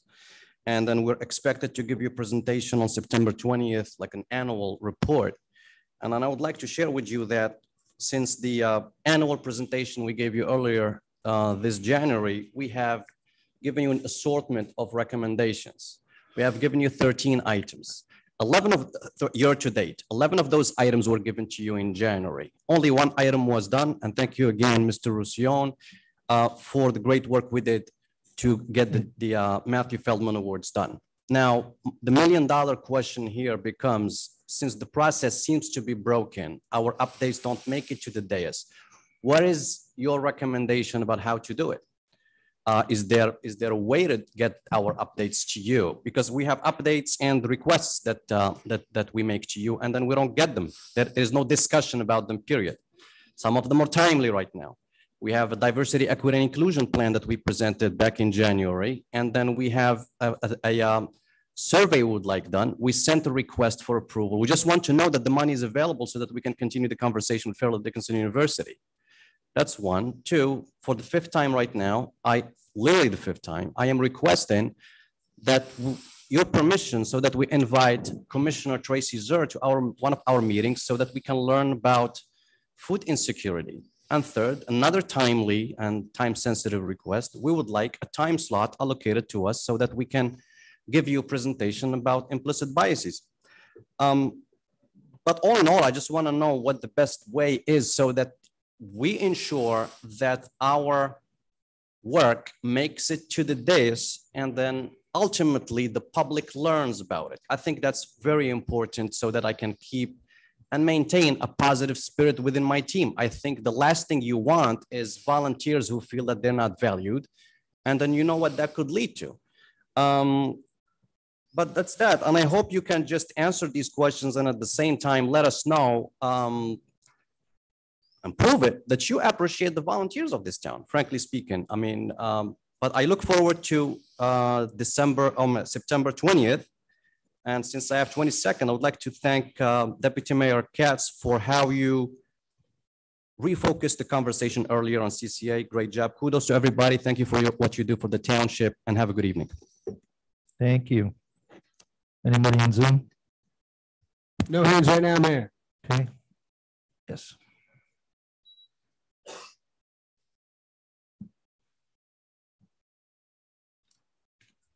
Hillary Goldberg. In November, in November 2020, voters statewide overwhelmingly passed a referendum, referendum allowing the sale of recreational cannabis. Recreational cannabis is legal in all of New Jersey. Teaneck is not an exception. Under the state law passed by the, the legislator, each municipality, uh, municipality had until August 21, 2021 to take action on whether or not to allow cannabis business in their town. We opted in and chose to be one of the first towns to have cannabis businesses and to have this new revenue come in to help keep our taxes down. When Teaneck opted in to allow for recreational marijuana sales, the area chosen to zone it was Alfred Avenue, located along Route 4 on the border of Englewood. The argument was that it was remote and an industrial zone and could be revitalized as a center for cannabis businesses. While an industrial zone might have been appropriate for cultivation, which needs a lot of space and generates little traffic, a retail dispensary on Alfred Avenue was a poor choice with no passerby, no appropriate locations available for rent. The council formed a cannabis subcommittee. A year later, both public and the businesses are still unclear about the parameters the council has for cannabis in Teaneck. No reports or findings have been shared, not with the public, not with the businesses, and not even with their council colleagues. We have no idea what work has been done. The actions and findings of the subcommittee have never been made public.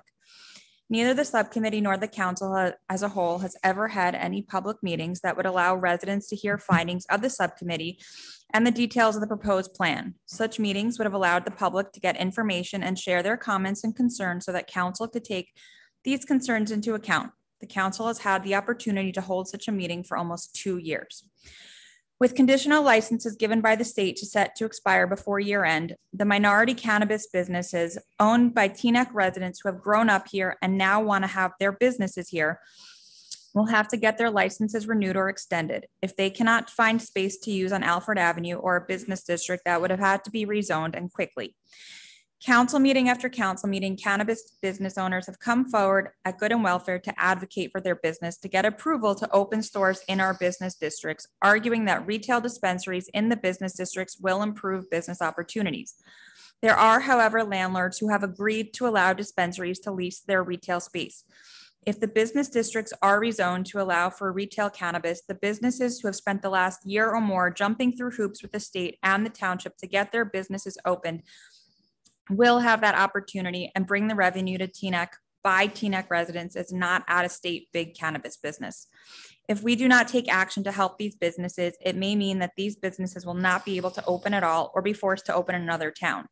None of us win then. I support the locally owned businesses. I support the transparency this town needs to allow to open them, and I hope that action will be taken to help move Teaneck into the 21st century. Thank you. Oh, I did it. Thank you. Anyone on Zoom? No hands on Zoom right now, Mayor. Okay. Yes, sir.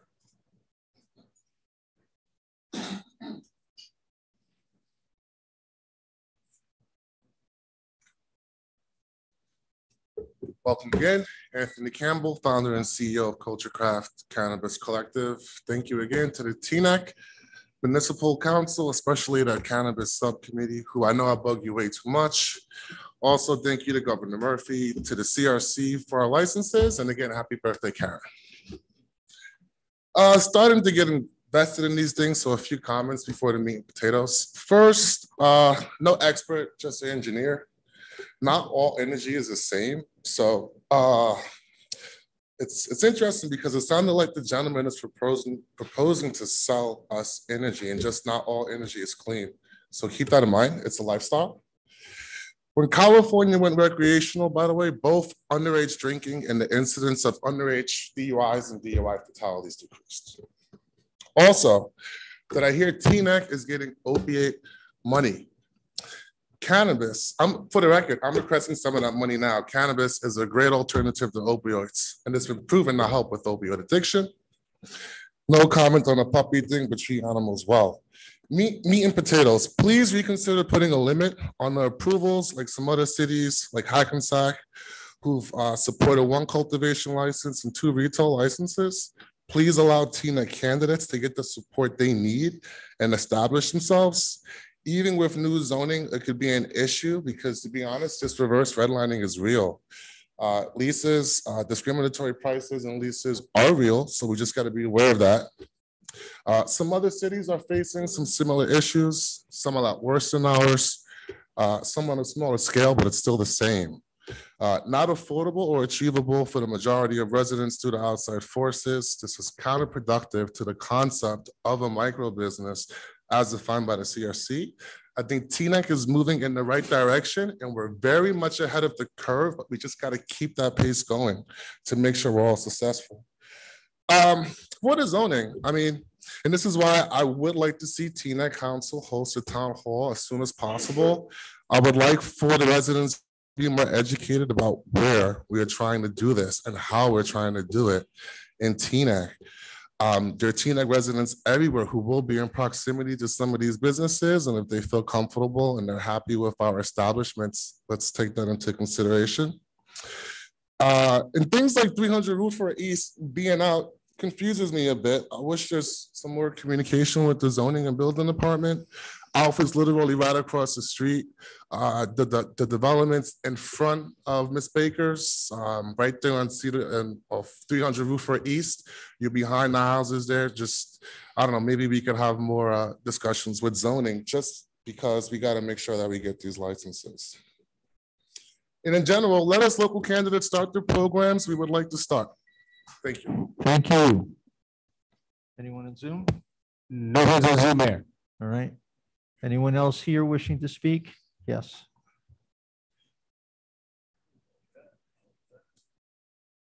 Alan Sohn, Teaneck resident. It's always important to remember that elections have consequences. For the months before the November 2021 election, six of you spent hours and hours and hundreds of dollars and put signs on your lawns and ads in newspapers decrying the two possible referendums that were put on the ballot in November 2021. One moving elections from May to November, and the other implementing community choice aggregation. Most of you had signs on your lawn, which were not covered by the Election Law Enforcement Commission, advocating to save Teaneck from some boogeyman. Uh, the voters were not convinced Overwhelmingly, by a more than two to one margin, they voted in favor of both of the initiatives, moving elections from May to November, moving and approving the community choice aggregation project. Three of you who worked tooth and nail to oppose these applications for moving elections from May to November have enjoyed the end of your third extended month of service courtesy of those residents who voted in favor of something that you vigorously opposed. It is really instructive to see the way two of you, Deputy Mayor Katz and Mr. Kaplan, dealt with Matt, Matt Smith this evening in speaking with him. Deputy Mayor Katz, to his credit, asked constructive questions. It was not something he supported. It was not something that he advocated in favor of, but he said, how can we best move ahead to implement the will of the people? Mr. Kaplan spent minutes, minutes, minutes dragging out with second guessing, Tuesday night quarterbacking, trying to come up with explanations of why Matt Smith was wrong for proposing something that could have worked and should have worked. I attended meetings of the Environmental Commission for years, going back to 2020. I saw members of the public, including Ms. Paula Rogovin, other members of the public, and the Environmental Commission as a whole, pushing for a community choice aggregation, a plan that could have been implemented years ago. And I saw Mr. Kaplan drag his feet, insist that they needed to come up with reports, refusing to turn information over as a liaison to the council. Remember, Mr. Kaplan is not a gatekeeper, nor is any other council liaison a gatekeeper. They're just a message boy taking information from a board or commission and passing it to the council and vice versa. The efforts to delay this prevented this from being implemented at a point in time when energy was less expensive, when inflation was lower, when there was much less uncertainty in the market. This could have been implemented and should have been implemented years ago when, at a point in time, residents could have saved money. This November 8th, we should remember that elections too have consequences. We should remember who respects the will of the people and who does not. Anyone on Zoom? No hands, Mayor. Okay, then seeing none here, we will uh, close good and welfare. All right.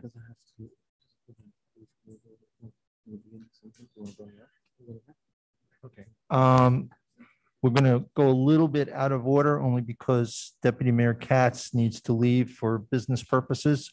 So Deputy Mayor Katz. Thank you, Mayor. No, I just want to address the, um, the puppy mill, um, comments. Yeah, I thought it was. I just want to address the puppy mill comments. I think, um, we should, we should, listen, there's the elephant in the room, which is the current applicant, which I don't think any of us on the council are going to uh, comment about specifically because um, I, th- I think that at the end of the day, they're working within the ordinance, but they are doing whatever they're doing. And uh, the town, I'm sure, is going to be watching this very carefully if they do end up opening. Um, but I do feel that we should make sure that we, you know, as Mr. Goldstein mentioned, look at the- and, uh, other ordinances and, and start moving forward to make sure that we put in place protections so that we can make sure that nothing like this ever happens again in Teaneck, if that is the will of the council, to not be supportive of these puppet puppy mills. So that would be my suggestion and my request. Okay. That's- No, that's, That's it. yeah, I think so. Okay. Is that else she said? Then I will go over to my right, Councilmember Rice. Sure. Uh, Thank you, Mr. Mayor. Um, I just want to start by concurring with Councilman Katz that I know that we've discussed this many times. um, And would just really like to know how we can ensure that um, the ordinance, which does not permit cats and dogs, um, is indeed enforced. Um, As always, just thank you to all the residents that do come out to speak, uh, whether in person or in Zoom. Thank you, Danielle Gee, uh, for the work you do on our Board of Education. I'm sure it's busy week, so thank you for, for being out tonight. Show Hall, uh, Ms. Mr. Goldstein, again, with regard to, thank you for your comments about Wayne puppies. We have discussed this many times, and I hope that we'll have some resolution that is in the best interest of all animals, particularly the dogs and cats that you mentioned. Um, say thank you to Mr. Glover for his letter that we received that was going to be posted on the next agenda and his proposal to meet uh, food insecurities. Judge Wooten, thank you, and Mr. Michael Chambers, um, residents um, Van Buskirk for attending tonight. I hope that the township manager can share the status of that current um, ordinance with regard to the 10 to 12 parking. Um, Cannabis Committee, hopefully we can receive an update as to what is happening so that we don't have the clock run out on our residents who have obtained their licenses, which are conditional upon them obtaining location. So um, I know that they're working together, but um, I hope that we can make some things happen before you guys lose your licensing. I just wanted to mention um, on August 21st that the Martin Luther King Birthday Committee commemorated the March on Washington on August 28, 1903. Can you hear me now? Can you hear me now? No? So all this time I've been talking and you guys haven't heard what We heard you. We heard you. Okay, just not recorded. It's all good. Um, August twenty-first, the Martin Luther King Birthday Committee commemorated the March on Washington, which was held on August twenty-eighth, nineteen sixty-three. It was a beautiful day, well attended by residents and county officials. They additionally honored the lifelong work of our own Theo- Theodore Lacey and Arnold Brown. known for being civil activists and now known as Justice, Equity, Diversity, and Inclusion Advocates. Uh, we presented them with a uh, certificate of appreciation from the township. Thank you, council colleagues.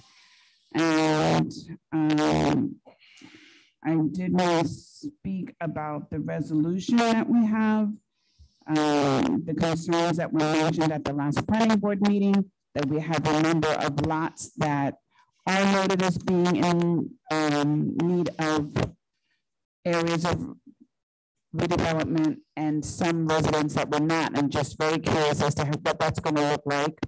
Um, I think it seems as if a proposal that was made by one of our residents some time ago about single family houses would be an appropriate um, proposal for that area because now we're going to have high rises next to, to individual homes. So I hope that there's something that we can do to address that. I hope I can get a few minutes back since I had some mic challenges. Um, 30 seconds.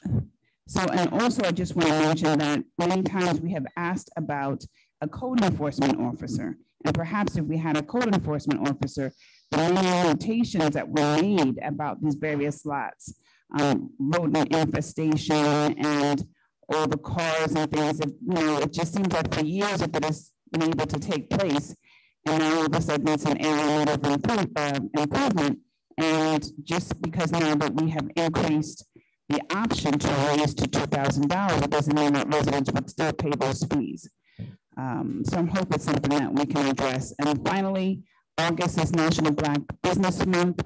I'd like to shout out Mr. Martin, who is closing his cleaners on the plaza after being in business for 35 years. Thank you. Councilman Pagan. Thank you, Mayor. Before I address some of our residents' comments, I'd like to remind residents that during the upcoming month of September, we celebrate Hispanic Heritage Month starting on September 15th. And just a couple of weeks ago, Ecuador Independence Day was also recognized. We also observed National Prisoner of War Missing in Action Recognition Day on September 16th. And just a friendly reminder to our older adults that on Tuesday, September 13th, the county will be hosting its annual Senior Picnic Festival at Van Saun County Park in Paramus from 10 a.m. to 2 p.m. In addition, for parents of kids returning to school, Governor Murphy has temporarily suspended the state sales tax on back to school purchases, and that suspension remains in effect until September 5th. So parents should try to take advantage of those discounts while they have the chance. And as was noted earlier by our manager, we will be observing September 11th at City Hall at 8:20 a.m. with the ceremony on that Sunday. When it comes to cannabis, I do support expanding the zone so long as as long as it is done safely and responsibly regarding food insecurity. Thank you, Randy, for being here with us tonight. And if it's okay with you, I will call you tomorrow to pick your brain on this some more. As for energy aggregation, everyone agrees that we cannot, in good conscience, support any initiative that will increase utility rates for senior citizens living on fixed incomes or for working families who are struggling to put food on the table and keep the lights on in their homes for their children. But we are going to keep working on this with our consultants with Food and Water Watch with our residents because we want to get this done at the right time, the right way. Regarding Van Buskirk, Mr. Manager, can you please give us an update on the situation on that street when you get a chance? Also, I'd like to thank my colleagues on this council for supporting renaming the street after Teaneck basketball coach Curtis March. He was a great teacher and a great coach. And he was one of the three teachers who, had the biggest impact on my life while I was growing up in Teaneck. So thank you. And I look forward to that street renaming. And lastly, as for the comments on Wayne's Puppies and Holy Name Hospital, we hear you, but unfortunately, we cannot comment extensively on pending litigation according to our attorney. And that, Mr. Mayor, is my time. Thank you. Thank you. Councilmember Kaplan. Thank you, uh, Mr. Mayor. Uh, regarding the resident that made comments uh, about not using the particular tools that are available uh, to us in the state statute uh, concerning the areas in need of redevelopment, look, I, I agree that it's horrible that some landlords are not doing things appropriately. But where we disagree is that we should, as a council, use every tool at our disposal to help our residents. And that, that is something I am committed to, and we will fight using every opportunity at our disposal here.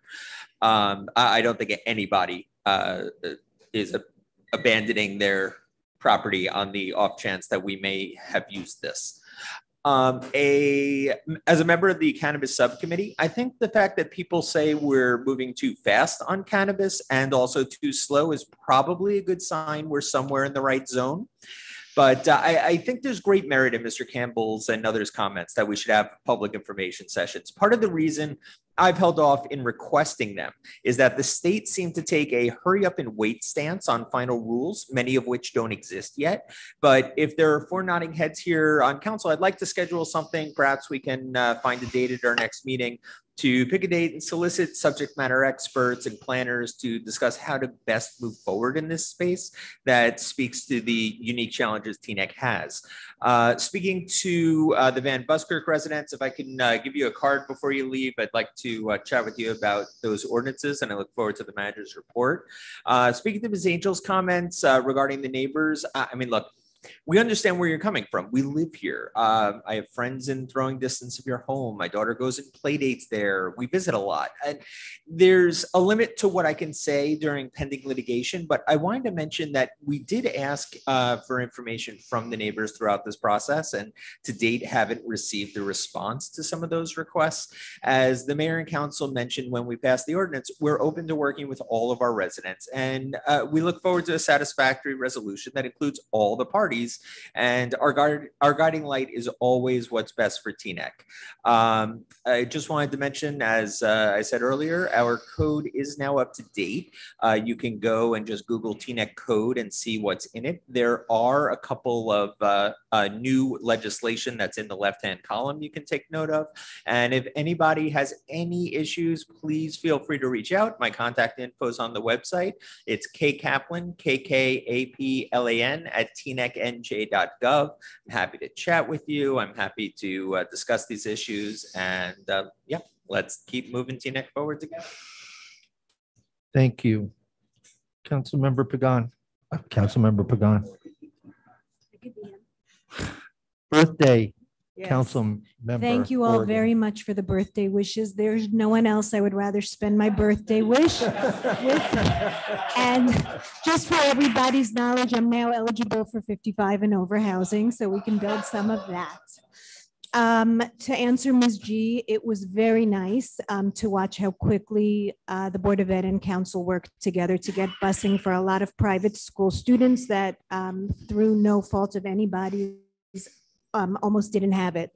And a big shout out to Ms. Pinsack and also to Stacy Goldstein, uh, who um, is an administrator in one of the private schools who worked really hard with her. And kudos to the Board of Ed and the leadership of the schools for taking her help and really forming a public-private partnership. I hope that the schools will lean on her going forward. She's been an administrator for 20 years and she's a great resource. Um, as far as Wayne's Puppies goes, we were taken aback when Mr. Cohn and um, Elisa Frank from the Humane Society came here. We were not aware that anything had happened. And for everybody out there, the, the pictures are heartbreaking. Um, most of us are big fans of puppies and have them and love them. Um, we, we didn't know. And um, council, not this council, but previous, passed a law not allowing puppies here, not allowing puppy mills or the sale of puppies, and that still stays in effect. I would love it if our zoning subcommittee could do something about the zoning issue so that even if this doesn't apply to Wayne's puppies, um, we'll make sure that this doesn't happen again. And just for everybody's knowledge, the manager is on top of this and no puppies can be sold in Teaneck. And if they house puppies here, they will be watched and they will, it will be made sure that they are treated appropriately. If we have to be in there every day, we'll be in there every day. Um, but they can't be sold from here. Um, for um, a big thank you to Mr. Glover. I know we froze him out of here and he went home to get warm. Um, but also I love the, the idea of bringing Tracy Zur here to speak. And if we could council list that for our next meeting, food insecurity in Teaneck is not okay. And I, I know she's been a big advocate and she's always pleasant to have around.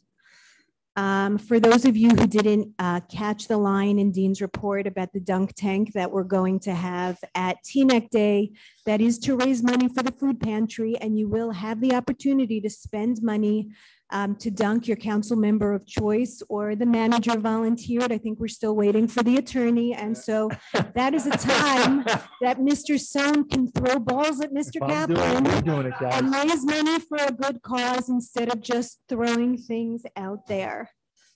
Um, I think that's all I have. Thank you. Go ahead.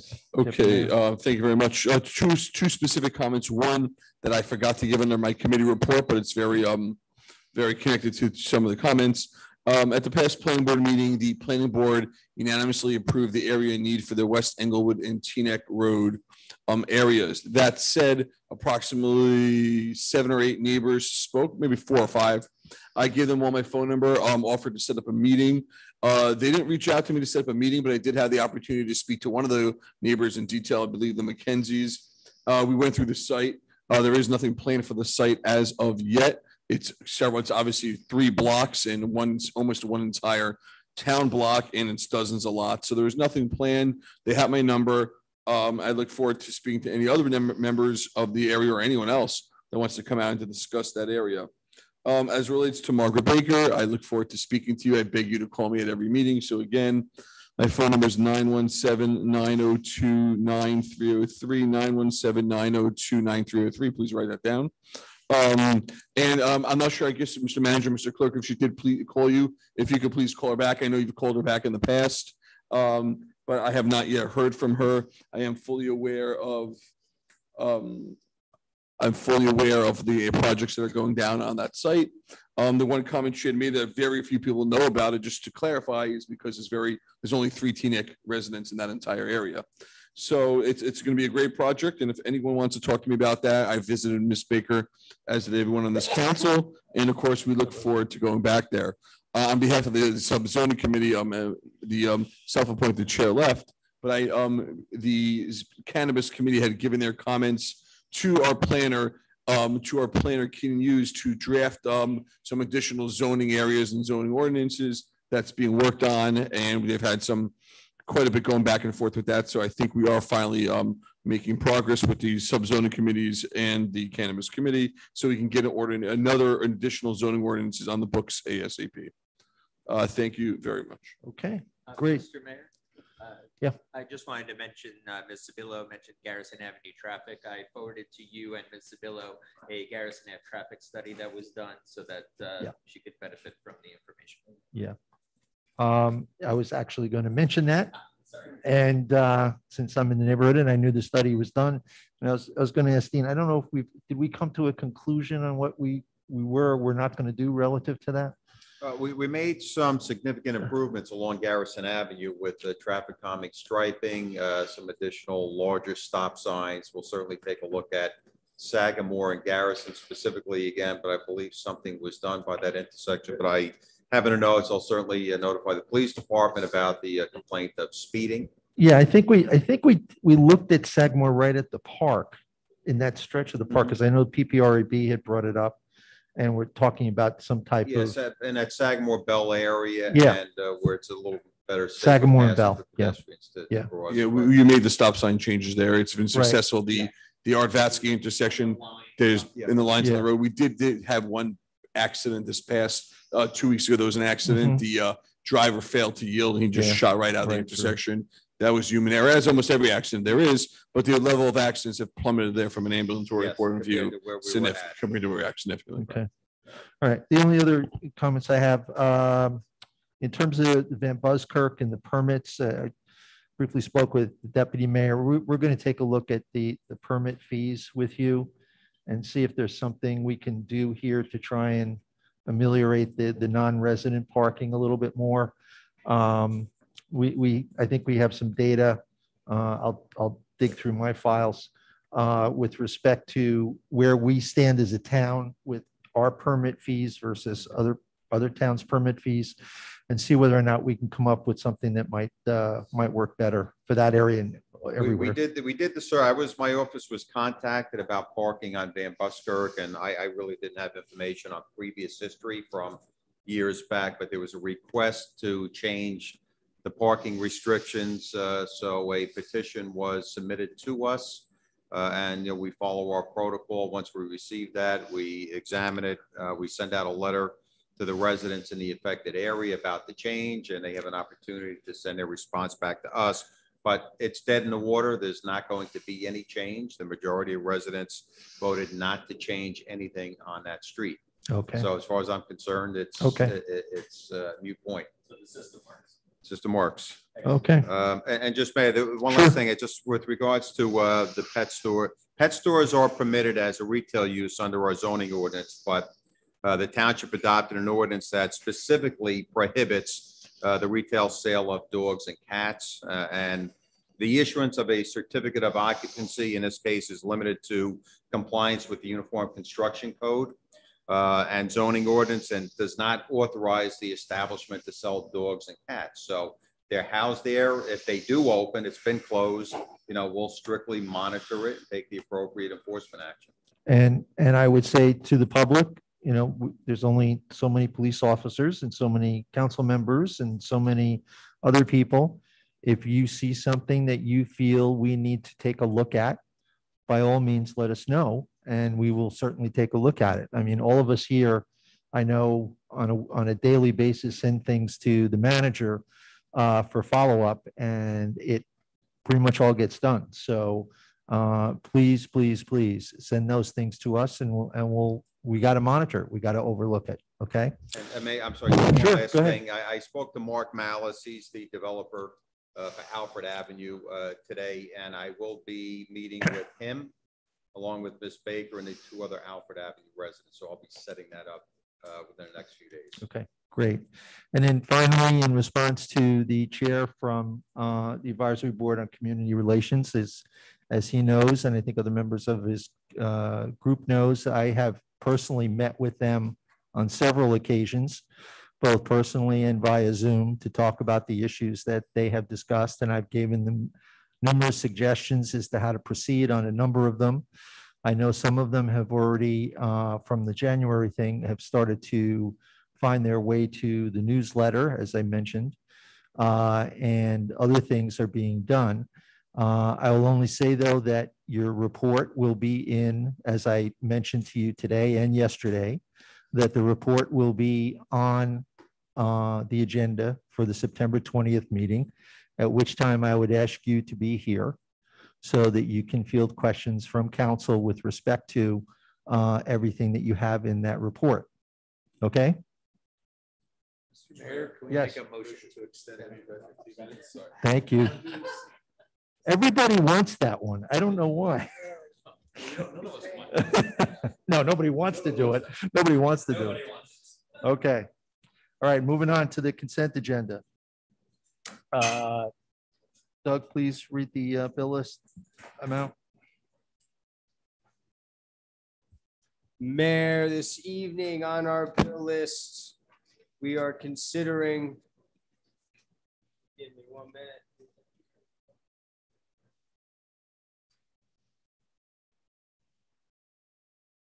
One minute, I apologize. We are considering on our consent agenda this evening, Mayor. Resolutions two three five to 241-2022 And the bill is in the amount of two million five hundred ninety-six thousand three hundred fifty-five dollars and fifty-eight cents. Thank you. Uh, Schwartz. There we go. Any discussion? Okay, call the roll. No on resolution two thirty-seven, yes on everything else, including the bills list. As I found, there were no Board of Education conflicts. Councilman Begun. Yes. Councilman Warden. Yes. Councilman Kaplan. Yes. Deputy Mayor Schwartz. Yes. Deputy Mayor Katz. Mayor Levy. Yes. Introduction of ordinances. Uh, Doug, if you can read in the ordinances into the record. Absolutely, sir. We have ordinance number forty-one twenty twenty-two, amending section thirty-six one of Article one and section 36-12, Division two, Article two, Chapter thirty-six, town traffic of the Township Code of Teaneck respecting the designation of Irene Court as a one-way street and prohibited parking. We have ordinance number forty-two twenty twenty-two, amending and supplementing section thirty-three twenty-three of Article five zoning of chapter thirty-three development regulations of the Township Code respecting solar panel installations. We have ordinance number three amending and updating appendix three fees and charges for township services of chapter two Township Voluntary Charter Administrative Code as amended by ordinance one twenty eighteen respecting the for vital statistics documents in the township. Ordinance number 44. Sorry. Ordinance number forty-four twenty twenty-two, amending section thirty-six eleven point twelve of Division One of Article Two of Chapter thirty-six entitled Traffic of the Township Code adding restricted on-street parking spaces for the handicap at 119 Shepherd Avenue. Last but not least, we have ordinance number forty-five twenty twenty-two, amending sections twenty-seven two and twenty-seven four of chapter twenty-seven of the Township Code of Teaneck respecting recreational activities and parks and facilities and permits. Can I have a motion to move? Second, Discussion? Second. I had a roll call, I had a roll call vote first. I thought Mike. Wow, it's too late, I'm tired. Roll call. I do. Councilman Ron Rice. What are we voting on? Introduction. Introduction, yes. I thought it was to go home. Councilman McGowan. Yes. Councilman Orgen. Yes. Councilman Kaplan. Yes on all except forty-two, where I'll abstain. Forty-two abstention. Ca- Deputy Mayor Schwartz. Yes, on all. Mayor Dunleavy. Yes on all. Hearing nothing further. As long as Deputy Mayor Schwartz is okay with it? Okay, all right. I'll have a motion to adjourn. Motion. Second. All in Eleven PM. See everybody at Teaneck Day.